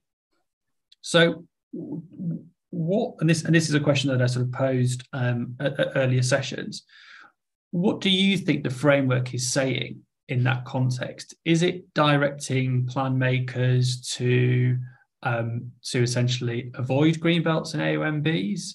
Is it saying that they provide a strong reason for, for not meeting housing needs? Um, what, what are your views on that? Because there's, there's been representations um, at a strategic level, but they apply to sites like this to say, well, um, you know, it's a very constrained borough and there's lots of AONB. Therefore, you know, we, we shouldn't be allocating sites like this because if we can't meet our needs, um, then actually that's what the framework talks about. So just, yes, so I mean, I, so I would say um, the, the, position um, must be analogous um, to how this operates in relation to development controls, which obviously the footnote also applies. Um, and so that is that um, what it probably is directing you to do is to consider whether the tests um, that are set in respect of those specific matters covered by the footnote are met in relation to a, a site. So, so here you, that that effectively means, you know, obviously this is major development, um, and it should only be permitted um, in exceptional uh, circumstances. So you have to reach a view about whether that's the case that's got a reasonable prospect of being made on a planning application, because otherwise the site wouldn't be deliverable. But so if you take the view that, that that is the position, that there is a, a, reasonable case that can be made, that there are exceptional circumstances for the release of this site, um, then in my submission, it obviously is um, it, it, the case would be that there is no clear reason for uh, refusal on the basis of those policies, and therefore no reason why the site couldn't be allocated. So, so my position would be it operates in this way, not to say you don't have to um, meet needs, you don't have to look at sites in those areas. But I suspect what it's really doing is directing you that if you are looking at sites in those areas of allocation, you have to consider the relevant policies in the NPPF in detail, or, or at least be to consider them to the degree of being being uh, satisfied that there's a reasonable prospect that, that the development could come forward under those tests. So here, it, it, would simply mean that there are exceptional circumstances. I mean, obviously, so obviously for for Greenbelt, the position is of course different because there is a specific test within the NPPF, as we all know, uh, for release from the Greenbelt, mm-hmm. um, in addition to a, a, different test for the grant of planning permission for inappropriate um, development. There, there's no similar breaking down of the position for AONBs and national parks. That, that doesn't happen in that way. But so nonetheless, I would say what this is doing is directing you to consider those policy tests um, in paragraph 177 in relation to any site that's allocated that is major development. You have to be satisfied that there's a reasonable prospect those tests could be met um, so that the site is deliverable. But if that is met, then in, in, my submission, effectively any prohibition from the footnote falls away because there wouldn't be a clear reason for refusal based on it. So that, that's the approach I would take so, to that. So, so I would agree with that. Um, paragraph 11, of course, is looking at um, the plan holistically. It's not in any way raising some kind of uh, presumption against meeting uh, the needs, development needs of the borough uh, in the event that the borough has within it significant constraints like AONB. Um, what it's saying is um, if having considered the opportunities available in the AONB, uh, you don't think uh, that it's appropriate having regard to the particular circumstances of any particular um, allocation, um, that uh, the overall needs identified should be met um, because of that, then that might provide a reason for not meeting those needs. Um, but it is not precluding the contribution which sites in the AONB might make to meeting those needs. That's the first point. I think the second point is that one has to consider also, uh, in the context of meeting need, uh, how and where those needs arise. And in, in the context of Cranbrook and also Hawkhurst for that matter, um, development sites as they come forward to meet need on a more local level, including the provision of affordable housing uh, within the smaller settlements, entirely covered uh, or surrounded by AONB, it is inevitable um, that consideration will be given to the release of such sites. Um, but otherwise, I, am happy to accept everything Mr. Morici says.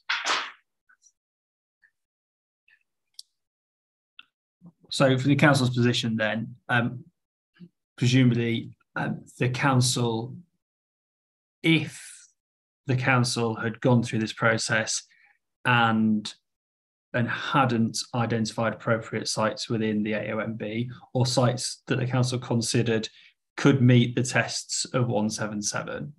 So um, you know, the council had gone through the process and gone through the SHELAA process and and and and the, and the detailed LVIA work and said, look, you know, they're just not, you know, they're they're, they're really just not suitable. We can't see a reason um, for allocating these sites then potentially that's when you would get into your 11b to say well we simply can't meet our needs um, in, a, in a sustainable and appropriate way because look we've looked at all these sites. They're not going to meet paragraph 177 you know significant harm etc etc so that's then when you'd be in a situation obviously in front of, of an inspector sort of saying we simply can't meet these needs. We're into paragraph 11b but actually, the council's position is they haven't reached that stage. They've done that first stage of looking at sites, looking at the greenbelt. And we talked about the greenbelt assessments, looking at the AONB, and actually concluded that that housing needs could be met through appropriate allocations. You've articulated what I said in a very practical way. Yeah. That is that, that that that is the position. Yeah. Okay. Um, Mr. Mr. Wootton, and then we'll come back to Mr. Scully. Thank you. So just to say briefly, because I don't pretend the expertise on planning law that uh, others do, simply that the, the, the thesis behind uh, CPRE Kent's uh, comments on the plan as a whole is, is, is to the effect that the, the council have not given the weight they should to the duty to protect the AONB and to the protection of the green belt in, in, in the, the approach to allocations. And, and that is one of the underlying reasons why uh, we oppose uh, the allocation of this site, among others.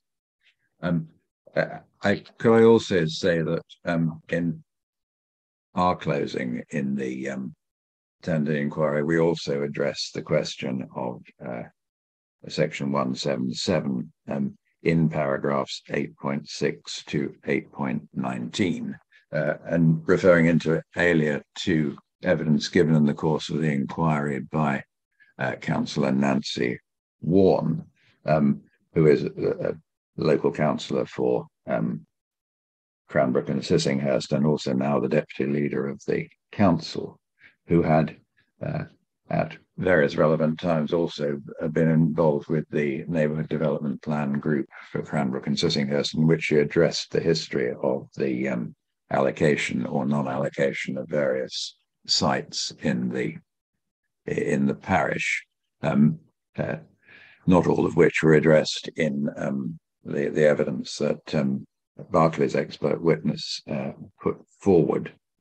Um, the the existence of alternative sites in the vicinity uh, continues to be demonstrated by uh, the applications that come forward, and three of which are, I believe, at least three of which within the parish are subject to current uh, planning appeals, um, uh, which have yet to be determined.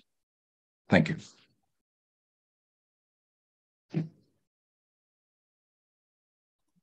Uh, Mr. Scully? Uh, just in relation to our overall approach to the issues you've raised, which is uh, you've discussed uh, uh, at some length now with uh, both the advocates. Of course, the development strategy topic paper uh, does deal with this issue.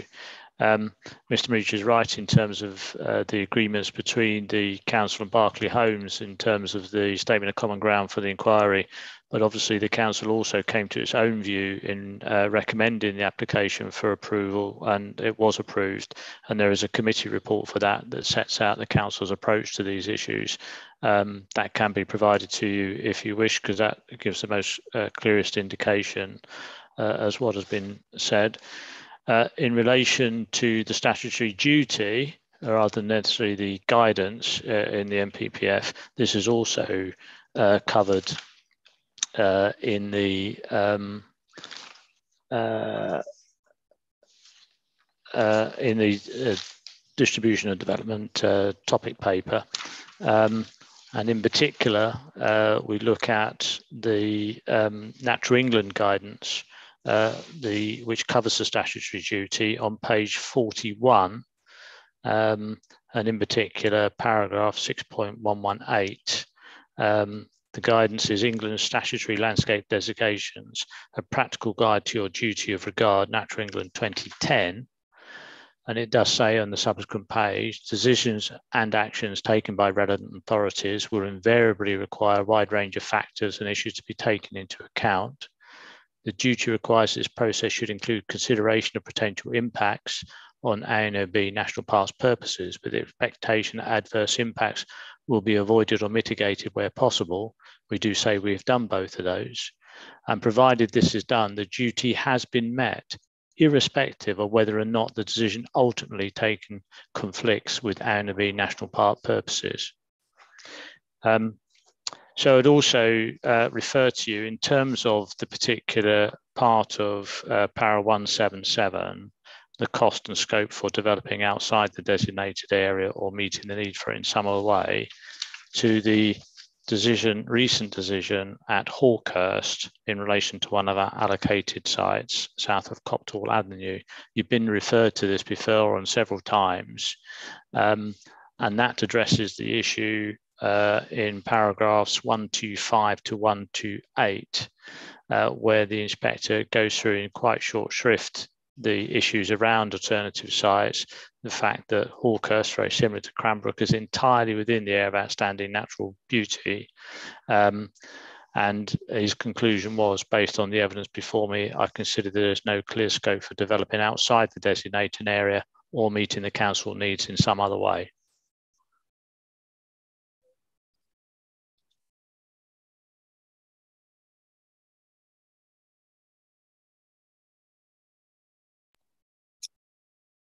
Okay, thank you. Yes, if you could, um, is the committee report within any of the statements or documents? No, no sir, I don't believe it is. Um, but to say we can certainly provide a public document, and so yeah. we can provide it. Okay, yes, please. Um, Okay, they were the only questions that I had. I do just want to quickly go through and have a quick look at the um, the development requirements and the policy, but I'm probably going to suggest we take a quick comfort break if that's okay. Yes, um, yeah, we take a sort of five minute break. And so we, I, I, don't have any more questions. I just want to sort of quickly go through the, the development policy requirements. I don't envisage there being too much longer, um, but we'll take a, a, five minute break if that's okay um, and, and, adjourn just until until five two, um, please. Thank you.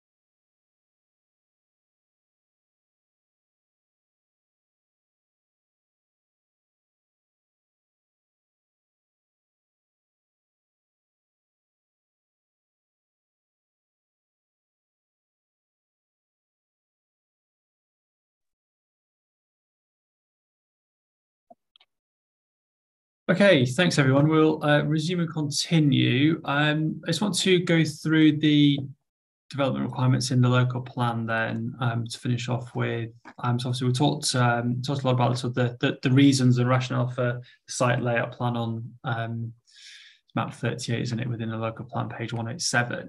Um, Mr. Scully, you talked about um, the sort of importance of um, the areas of, of, open space and um, and and um, sort of retaining them in perpetuity, etc. Do you think that the local plan will be effective in doing that? So obviously, put the put the current scheme sort of um, to one side for a moment. If there was potentially a, a, you know a revised scheme or something that comes forward in the future, um, does the um, plan and do the development requirements effectively um, control um, the sort of issues that you've been talking about this morning? So the main mechanism we use in order to secure this is a landscape and ecological management plan, uh, which is referred to elsewhere in, in policy, uh, but that's uh, criterion eight. It does make it clear it's to cover all the public spaces, retained restored habits, and any retained agricultural land. I suppose to uh, um, avoid any risk that uh, there might be an approach to limit the extent of that, um, we could add in for the lifetime of the development. Um, but to that wording, uh, in general, we cover that through uh, the Section 106 agreement that um, ties the uh, LEMP to the development. But uh, I, you know, I'd be grateful for any um, advice you have on uh, ensuring that this is what happens. And just looking at the requirements, is there anything in there? I'm just re- reading and speaking at the same time. Um, but is there anything in there that talks about future management, maintenance of these areas then?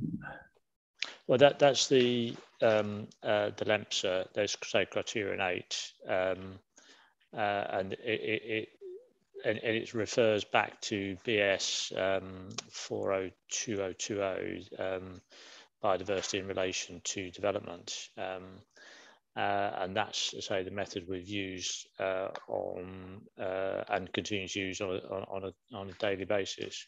Um, and it sets out there the provision of and adherence to.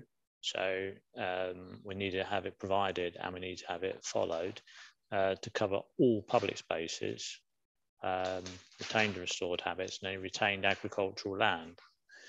Um, it doesn't prevent um, uh, things happening on the land. It just means we've got control over its, its uh, future management and uh, as a land use. And we can ensure that's the, the, important thing is about ensuring that the objectives in terms of landscape and ecology that are set out within an application and within the policy are, you know, um, uh, continued through uh, in the long term.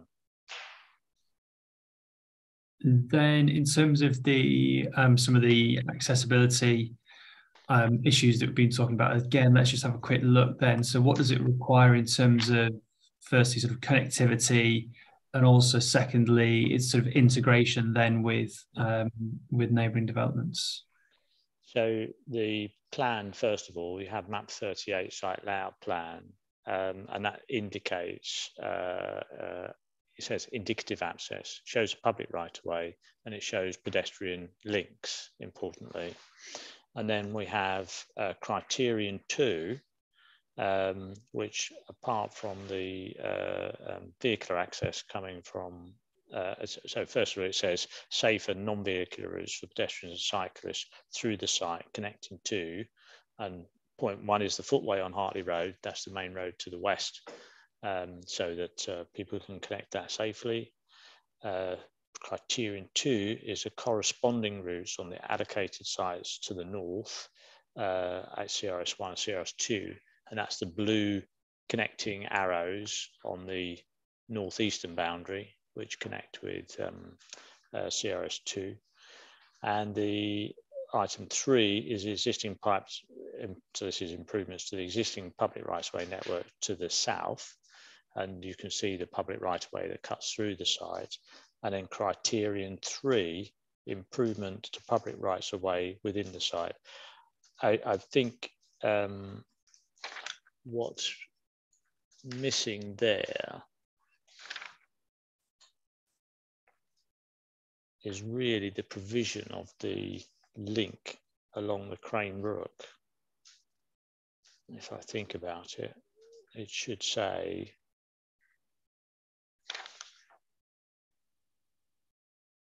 I'm just seeing if it covers it anywhere else. Ah, um, no, it does. Sorry, it's covered in uh, criterion 7A. It says a infrastructure link along the Crane Valley to link into the routes provided further north along the valley, providing an extended and improved green route into the centre of Cranbrook. Hmm. Yeah, yeah. And again, just in terms of Miss Marici on, on behalf of the site promoters, is there anything, um, again, in terms of, sort of effectiveness of the requirements which you've sort of seeking to change? Um, so I don't, I don't, think there is, uh, essentially, we made some very small, I think, um, proposals to amend uh, wording um, on six and seven, but so it is very minor. I think uh, on six, which says development shall be located on the areas identified for residential use. We wanted something like um, broadly or generally in accordance because the plan is quite high level about where the exact development lies. But so it's not a big point. And then seven, so on 7D, reinstatement of historical field boundaries with hedgerows, shaws, and woodlands, I think we wanted uh, the wording where it's appropriate to do so. Um, because obviously there are places where it isn't, but um, but so again, it's not a big point, and broadly we are content with the terms of the policy in terms of effectiveness and and what it requires. Just in terms of the site layout plan, then on other allocations, we, we talked again, we talked at, at, length about this, and we talked about um, introducing a, um, a modification into the plan. Just just again, just to sort of clarify that these site layout lands are indicative and in a lot of cases, the you know, the very specific detail will come forward to the plan application stage. And, and, and one of the issues is, is simply the scale of the plans, um, especially for a lot smaller allocations. This allocation does have criterion six in development shall be located in areas identified for residential use on the site layout plan. Is that um, is that repeated on other allocations? I'm not sure if it is. No, I, I checked. So this is a matter we, we have discussed uh, uh, on, uh, particularly at the beginning of the inquiry and subsequently on, on most of the sites with these plans. Uh, we are looking to make sure either within the policy or in the uh, uh, overarching text uh, for the allocation plans that we make it clear that these plans are indicative. Because as you say the scale of them is such that it's impossible to be entirely accurate. Um, and also um, it's uh, you know the details matters as they arrive may well provide good arguments and uh, for uh, a bit of pushing and shoving on those uh, boundaries as well. So we do recognize that uh, we've accepted that elsewhere and uh, through the review that um, uh, if we proceed to modifications, uh, we will uh, set out a consistent approach on that issue. So just on this particular site then might might six might need some tweaking then maybe it may be perfectly easy to delete it. So if we've covered it for all maps and all sites elsewhere in the plan, uh, we, we, it might be easier to make sure we delete all those references um, as long as we have it somewhere else. Um, it, it, does occur elsewhere, actually. Paragraph six is used in other, uh, other allocations. So we need to uh, check that quite carefully so we have consistency. Yeah, it's just a point of internal consistency. I think if you've got if you've got it set out um, elsewhere in the plan, um, and not every allocation has that, then it might just be a case of, of deleting them because, like I say, it'd be, it'd be set out elsewhere in the plan anyway. Yeah, exactly. So I, I, don't have any objection to Mr. Marici's um, suggestion in relation to 7D. So that would be aware appropriate or where necessary or something similar.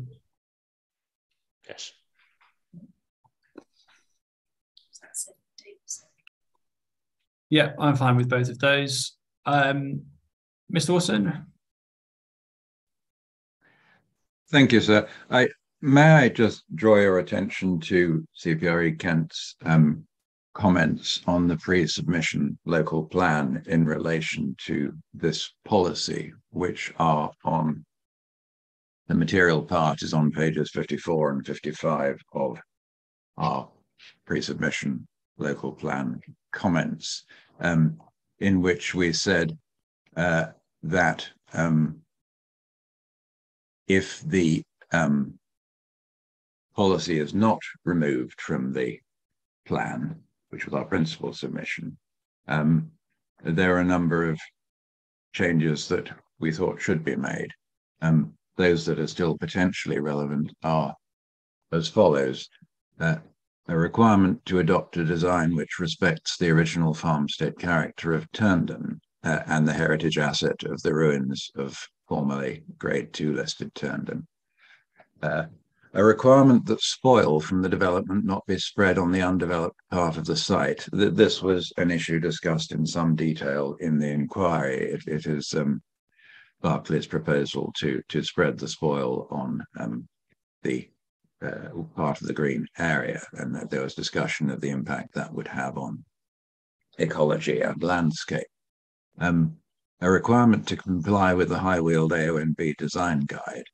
Um, a requirement to conduct a comprehensive traffic survey and implement remedial measures as appropriate, um, and to include references to policies EN21 and EN22, that's in relation to air quality, and the AQMA uh, in the list of relevant policies at the end of the policy. Uh, thank you. I think I think whilst they're all um, you know design reflecting character, etc. I think whilst they're all um, highly relevant considerations, I think really that that's the detail that would come forward um, as part of the plan application process.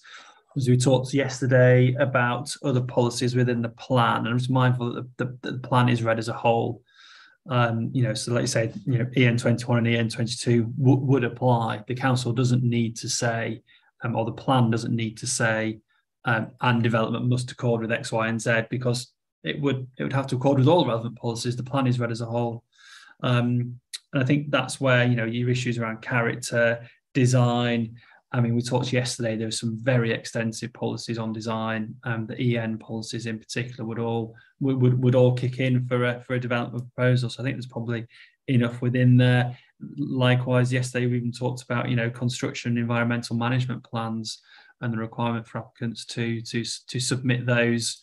Um, so again, I think I think given the the number and the very um, extensive coverage of the other policies, um, I, am satisfied that there's enough within the plan read as a whole that um, you know in in case of a future scheme, for example, um, that there'd be there'd be you know plenty of policies for the council to to consider these issues against. but you know, completely appreciate the point, and, it, and it's often a balance, isn't it, between um, you know setting things out in an allocation to make it clear, um, but but mindful that the plan is read as a whole. Any other comments on the policy itself in terms of its sort of wording, how it's set out, its requirements? So, thank you.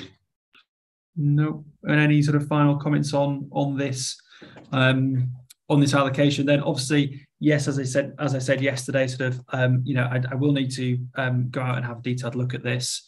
Um, so sort of we'll, we'll be in touch through the program officer with regard to doing that. Um, and then um, and then obviously and you know going forward in terms of the adoption of the plan, there would be subject to main modification and consultation.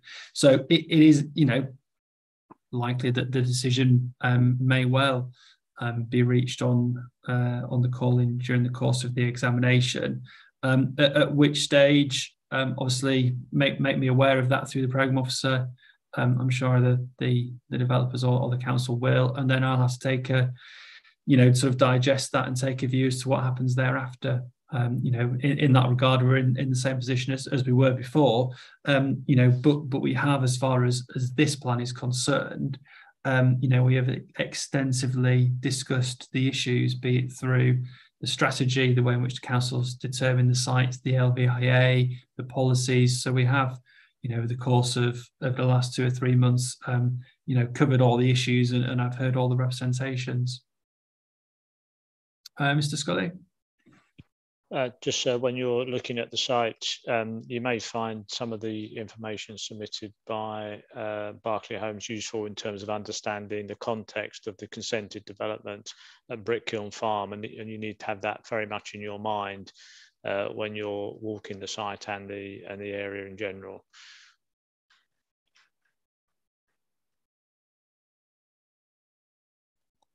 Uh, Mr. Watson.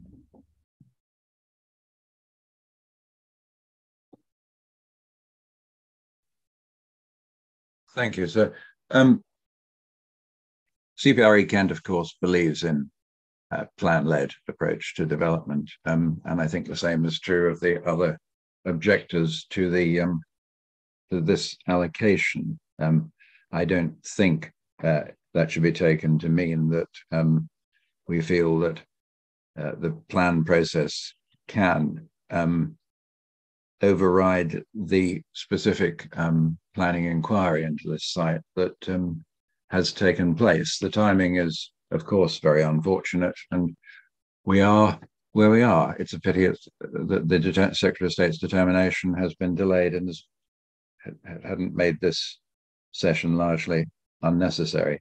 It would be a very unfortunate result of the planning process if if the inclusion of this policy in the local plan um, placed, as it were, a potential developer of this site in a, a better position than they would otherwise have been in circumstances where the Secretary of State uh, agreed with the um, Natural England and the High Weald AONB that the public body is responsible for the protection of the AONB, um, that this site should not have a major development on it.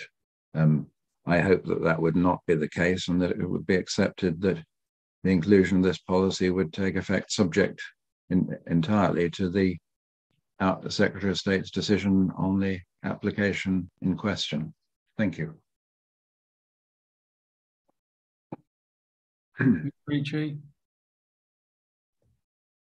Um, so just just to I mean so just in relation to that, so um, so you obviously have a different task, as you know, to the Inspector and Secretary of State in determining the, the planning application.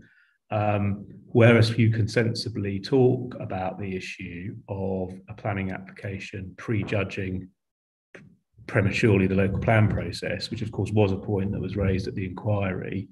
So there isn't any sensible way really in which one can talk about any decision that you make prejudicing or prejudging the Secretary of State's decision. That, that, that's just not the way it works because it's a plan-led system. Um, and in any event, so you are dealing with a different task to that of the Secretary of State and the Inspector. So, so um, we don't we we take the view that prejudice prematurity can't work both ways. It only applies when one's thinking about whether an application for development and a development control decision could prejudice the plan process you can't have a situation in which um, your tasks are prejudges or prejudices of planning application. That's just not something that planning law and policy recognises. So, so that's the first thing. So, secondly, on a practical issue about the site visit. So, and I think I may have mentioned this to you at one of the earlier sessions. Um, so most of the, if you obviously let us know through the program officer, most of the site you can walk completely unaccompanied um, as long as we know that you're there on that day. The only issue so is if you want to go within phase one, it's currently a construction site. So there would have to be someone there with you for that part alone. And so I wondered whether practically it would be of use to you if we sent you what was the agreed site visit plan for the inquiry, um, so that you know where the your your uh, fellow inspector walks into and what was agreed by all the main parties to be the, the relevant route to to take. So if, if, that would be useful to you, so we can provide that um, to you. We're already, I think, providing you with that one document we referred to earlier um, in relation to the relationship with Brickkiln Farm. But if that would be helpful, we're happy to provide that to you as well. So, so you at least know what the parties agreed was the route to take on the inquiry. I think if it was agreed, then then yes, it would be be helpful, but but not if there was any disagreement on it. Yeah. So there wasn't any disagreement at the end. I think it was an agreed route that all parties signed signed up to. Um, so so I'll, I'll, make sure that you okay. you receive that. Okay. Well, yeah, you, you can send it through the program officer just just, just for information. Um, obviously, I'll yeah sort of ha- have a look at it and sort of come up with my own sort of judgments on on where this needs to be looked at from. Um, if you could also just just email the program officer the relevant relevant contact, then if I if I do need to make to, uh, touch base with people for sort of health and safety reasons, etc. If you can um, yes, just just email the program officer, um, so that's on on her radar, and we'll um, we'll we'll get that set up. Thank you, sir. Anything else on this allocation? There's nothing uh, more from this side, so I think you've been uh, given all the information um, that is mm. relevant to considering this allocation. I'll just make this further point, however, and that's distinguishing your role from that of the Secretary of State at the moment. Um, you're not considering this site in the planning balance against a five-year supply of housing, for example. Um, what you're doing is considering this site uh, in the context of the strategic options available to this council in plan making over a 15 year period. And that is what sets you apart uh, from the Secretary of State in this process. So other than that, I don't think uh, there's anything else um, we need to, to say. No. Um, there was a reserve session next Tuesday, um, but it's it's it's not needed. I saw late yesterday evening a request. I think it was from Paddock Wood Town Council, querying whether or not we were using a reserve session to talk about viability because the council's viability consultant on on the relevant day um, was not there. Um, but but no, we we we agreed at that session that we we wouldn't need to come back um, to look um, particularly um, at, at, viability at this stage. So no, there's there's no requirement for the reserve session next week. Um, so just a question for the council is whether or not um, so th- this would be the last hearing session of the examination. so whether or not there was anything else that the council, again, sort of housekeeping, procedural, ways forward. Um, I know that we've been been through a lot um, of of, um, of, of sessions, and, and we've we talked about main modifications, and we've also talked about sort of um, notes here and there. Um, so I think in terms of in terms of sort of my request would be as as an immediate action, and if I could ask the council in the first instance just just some some point next week just to send me through just a real basic bullet point list of all the notes that I've asked for um, and sort of bullet point list of main modifications to policies. So it's not it's not the main modifications. It's just you know main modification. I'll pick one. EN twenty. You know we talked about changing the word into align with the NPPF on agricultural land. Just a real sort of high level document um, that's just purely for, for my own benefit so I can cross refer to my notes and just make sure at this stage that we haven't missed anything. There was nothing outstanding that we discussed at the hearings, which just, you know, would slip through the net, so to speak. Um, so it's, it's not a sort of publicly available document. It's just a it's just a checklist for my own my own benefit to, to cross refer to my own notes. That, that's being provided. That's being uh, done at this very moment, sir. Yeah, Jolly good. And, and, and, as I said yesterday, um, sort of in, in closing to other participants, really, um, yeah, next immediate stage is for me to sort of get out and, and have a look at the, the, the sites and, some of the issues, and then honestly um, commit to writing to the council um, as soon as practically possible on um, on, on ways forwards and, and soundness issues that we didn't quite get to the bottom of on, on some of those issues. Very good, sir. Thank you very much. Yeah. Okay. Well, that leaves me to obviously thank thank you all for your time. Um, I know there's been there's been a lot of sessions. It is a big plan. I think it's over 500 odd pages of, mm. of local plans. So there's a big plan. There's lots of policies, lots of sites, um, lots of constraints. Um, so so thank you for your time and appreciate you know some sessions run over and you know we had to sit until 6 p.m. and you know other sessions including this week we had a, a very short lunch break. So um, no, appreciate that. It, it certainly does help. It's meant that we've only really needed to use today as a reserve site, but that was actually um, really in relation to sort of factors outside of the examination, really. So, well, um, so, so can we extend our great appreciation to you for the metic meticulous and fair way in which you have conducted the uh, hearing session. So thank you very much. Okay. I echo that on behalf of CPRE Kent, um, who have appeared in many sessions. Thank you very much. Thank you very much. And just finally, um, Hannah, I know you're sitting in for for, for Charlotte today. Um, was there anything that we needed to be aware of before we sort of wrapped everything up? Uh, no, not on my end. No. Okay, well, thank you all for your time then. Um, so that brings the, the hearings to a close. Um, um, so thank you all very much. Thank you, sir.